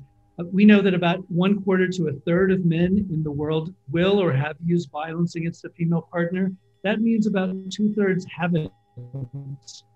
We don't do nearly enough with the two thirds of men who haven't used violence to say, here's what we need you to do to break cycles of violence. And fourth, we need political support. We need men to be allies for women's leadership and men to live up to feminist leadership when we're in power. It's quite clear to us the countries in the world that have fared the worst during COVID have had horrible, typically autocratic, often male dominated leadership. I can name Brazil, India, the US under the previous administration. But where we've had caring economies and caring politicians and care centered, we've done better in COVID. So, leadership, ending violence, care policies, and investing in the younger generation for healthy masculinities. Thank you, thank you, Gary. And I um, just should also put a shout out that uh, to learn more about this agenda, you can check out the State of the World's Father report, um, and we'll make sure those resources are shared. And um, that agenda is quite clear, and it's um, it's refreshing to see that there is a call to action for men and transforming gender norms in a way that would benefit all genders. Um, so I'd like to come back to you, Delphine. You've already given us a preview of what the role of governments are. Um, what are the most important steps um, from the perspective of government of France to build back equal after this pandemic? And what role Oh, okay. She's been disconnected. Okay, so we will be um, coming back uh, to to Delphine there. Um, so you know, just um, uh, uh, turning it back, you know, as we are coming to the Generation Equality Forum, um, uh, Nimco, you alluded to this that you know, how do we really make sure that global conversations have local action? Um, what you know, what what will we need to do to bring impact to the local level? You know what? I, I, sound like a broken record, but it's about deconstructing the way that we fund. And it's actually really taken away from the massive bilaterals and really giving it the direct. And as Delphine said, the fact that it is that the global south is seeing that the fact that 50% of its economic power in women is being under resourced. I do actually say that Africa's most under resourced natural, um, under tapped natural resource is women. So the, the whole point is poverty doesn't just happen. You have to create the foundation for poverty, FGM, early forced marriage, girls out of school, polygamy those those, those all create conditions for um, early forced marriage and um, for, for for poverty, and it's about addressing that. And we had the G7 here in the UK last week, and ultimately one of one of the key things that the Prime Minister said was um, the Prime Minister of the United Kingdom was said was the fact that we, we need to build back better in a feminist way. And I completely agree with that the Canadians went out to go for um, a feminist foreign policy. Macron was great on actually saying that in order to be able to sustain Africa, women have to be at the heart of it. So I know that the G7 leaders understand it, but it is about those in philanthropy and those in international de- development also now standing with world leaders and saying that we can trust Black and um, and First Nation women with money. And I think that's the key thing that we have to do. I fundamentally am bored of the fact that people keep saying that it's it's really hard to fund Indigenous women and, and, and, and hard to fund Black women, but you've never done it. So if you really do want to build back better and you really want to be able to achieve the sustainable development goals and you want equality to be a reality, put money in the hands of Black and Indigenous women. And it's as simple as that. Uh, and and Nimco, we we no longer want you to be a broken record on this. So you know the call to action is to really change the systems, get power and financial uh, financial flows into the hands of those women, and also challenge our norms. Uh, I'm just going to check if Delphine is back with us. Delphine, um, are you there? Okay, no worries. Okay, uh, Gary, uh, you know, same question to you here. You know, we have a very strong seven-point, um, uh, you know, call to action that you've launched. But how does this um, actually get in, uh, into communities, and where, you know, how can we really see um, the change? And, and any example that you would like to share on on this front? Sure. I mean, you know, some we do need the macro political and economic changes that I think we've discussed, and those are certainly part of many of the platforms at GEF, but there's also things that we can change at the levels of ministries. Um, education sectors that build in um, gender transformative education after school curricula, building it into the school curricula of promoting boys' involvement in care and consent and respect for, for girls in the classroom. We also can build this into health sectors. Ministries of health have done fantastic work around maternal and child health, We've got very creative ways we've, that we've done in Brazil and some other countries, Rwanda, of engaging men as partners in maternal health and birth in after the birth of a child. We've got programming we can do around social protection programming that's already there. The funds have often been allocated, doing some nudges to get men to do a greater share of care work and be supportive of women in the workplace. So some of it's the macro, but there's also a lot of detail in how we design some of the well um, reasonably well funded programs, certainly not enough. And I fully agree with NIMCO about how we shift where the funding goes. But where we've got some good functioning social protection and health services, they can be tweaked and shifted so that we, we oblige men, we obligate men to be part of care, um, whether it's paid or unpaid. Thank you, Gary, for that that example, and um, and you've also, you know, spotlighted how in Uruguay this has been possible, and you've mentioned a few other countries, um, and encourage everyone to check out that work because change is really possible. So as we come uh, to close, unfortunately, Delphine um, is not able to join us for the closing part, but you know, I know she would say this, you know, engage in the Generation Equality Forum. It is an opportunity for all stakeholders to make commitments. The deadline is the 22nd. Use use this as a milestone moment because we don't know when we're going to get this moment again. It's taken 26 years to put this particular um, form back on the agenda, but it only matters if we truly address the root issues. NIMCO, you've highlighted we need to keep the human rights framework in mind. We need to get women and girls their rights realized um, at the most foundational levels, and that also includes making sure that women um, from uh, underrepresented backgrounds, especially uh, women from African descent and indigenous descent, are um, getting the resources for change. Gary, you touched upon the very uh, critical role of uh, making sure this is seen um, as a male agenda and uh, not giving as many optional asks to men, um, but but really saying men must do this and creating uh, legislative change, policy change, and transforming gender norms at a very early age. Uh, and so, on that note, you know, I really want to thank all of our speakers for these inspiring insights as we go towards equality. Let's keep all of this uh, in mind. It should have not taken a pandemic to focus the world's attention on health and the deep inequalities within and between countries. It is time to rethink what we value. Uh, we must value women, girls, um, especially women health and care workers have been applauded in this pandemic in every society, but have not been rewarded with safe and decent equal work. Um, it, it is the year of the health and care workers. And uh, as I represent women in global health, I want to remind everyone, you know, there is an opportunity to make a commitment to the Gender Equal Health and Care Workforce Initiative to drive change on leadership, pay, safety, and decent work for women and healthcare workers. But everyone on today's conversation has shared an opportunity, an agenda to really advance equality. So I ask all of you to join um, each one of us in all the different opportunities that Generation Equality Forum is providing. And let's have a new social contract that is based on greater values of equity and human rights. And to answer this question, who cares for women? Well, we do. We care for women, and that's so that women can care for us. Thank you. Thank you. Thank you very much. Thank you very much, Roopa. I don't know if I'm on air. I am. Am I? I am. Yes, I am. Thank you, Roopa, for um, having uh, moderated this uh, this very inspirational uh, roundtable. Thank you, Gary. Thank you, Nimco. Thank you, uh, Delphine. Um, just uh, once again, the dates for this uh, Generation Equality Forum is from the June the 30th to July the 2nd. And please go on the comment and you you'll have all the information to be able to, um, to get to, to this forum.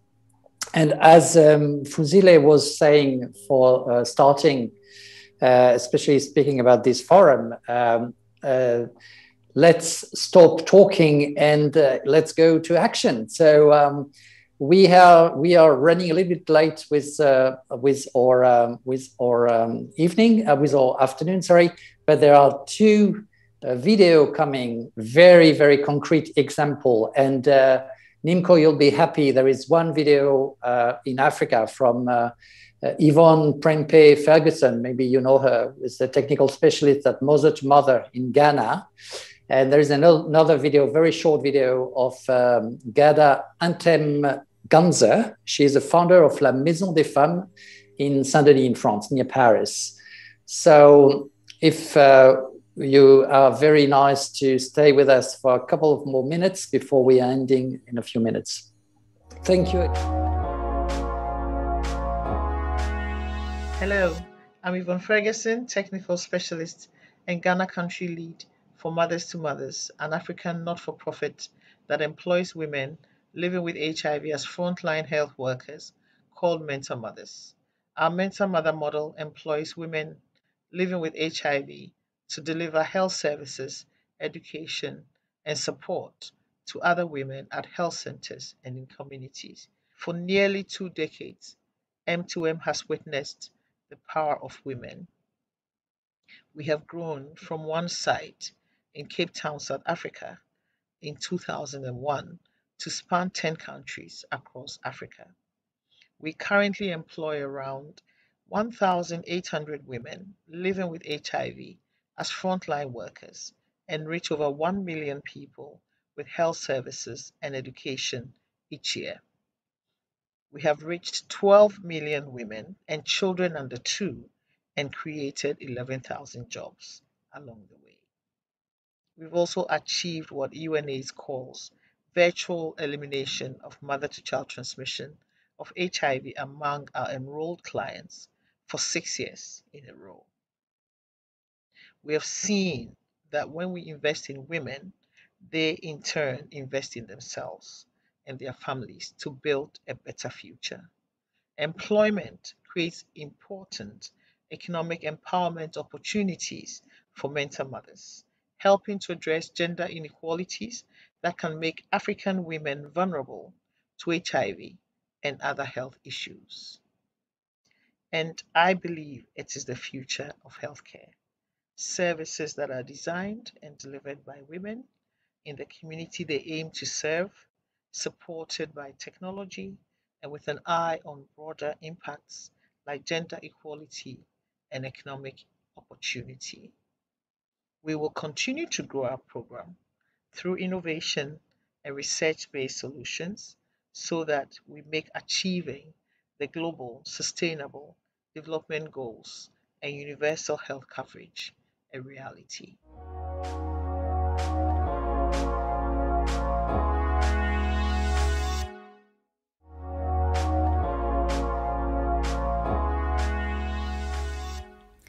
My name is Ghada Hatem. I'm a doctor and I created the first multidisciplinary health care center dedicated to women victims of any type of violence, the Maison des Femmes de Saint-Denis. We welcome women of all ages who have been affected by violence, and we propose a large range of services all in one place in a safe and confidential environment. The Maison des Femmes' objective is to simplify the journey of the victims. Our structure brings together more than 60 professionals, such as doctors, midwives, psychologists, lawyers, to offer victims an adapted treatment path and guarantee open access to services for patients in precarious situations. Take care of migrant women as well, both in their access to care and rights. In a word, we help women get the most basic care, abortions, legal protection, and we also help them build back up, return to school, find employment and stability. On the other hand, we work on violence prevention by giving sexual education course for middle and high schools and offer professional trainings in caring for victims of violence. Our aim is to duplicate the model on a national level in order to help women all over France, but also through Europe.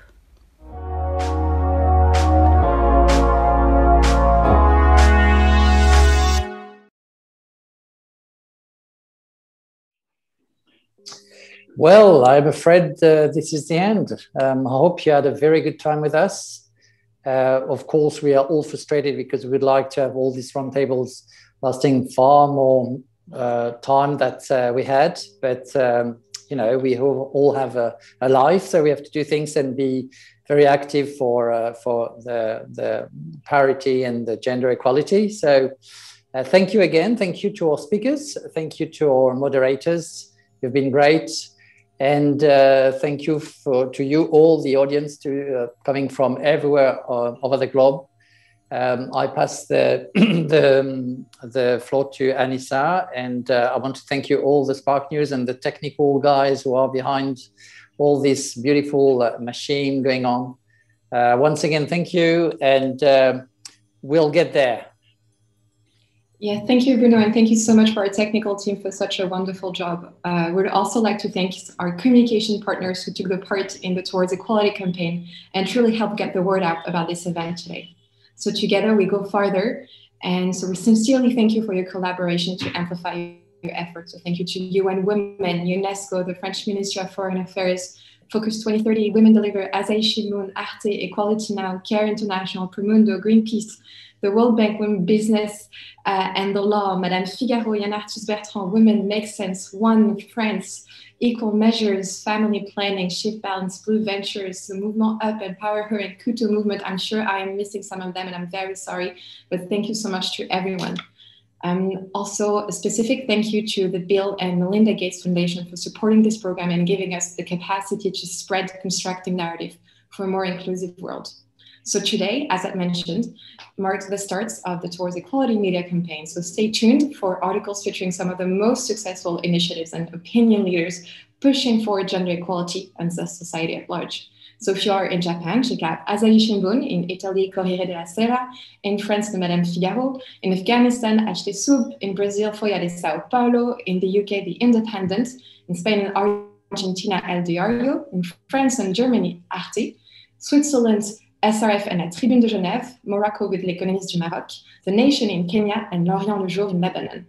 To access all the Towards Equality articles written by the International Media Coalition, you can visit the link that is in the event description that you are looking at right now. Uh, we all have a part to play in creating the profound change in culture that we all need to reach gender equality and build more inclusive and sustainable societies. So together, we can be part of the Generation Equality Forum and make sure that this happen in our lifetime. So thank you so much for joining us today. Thank you all.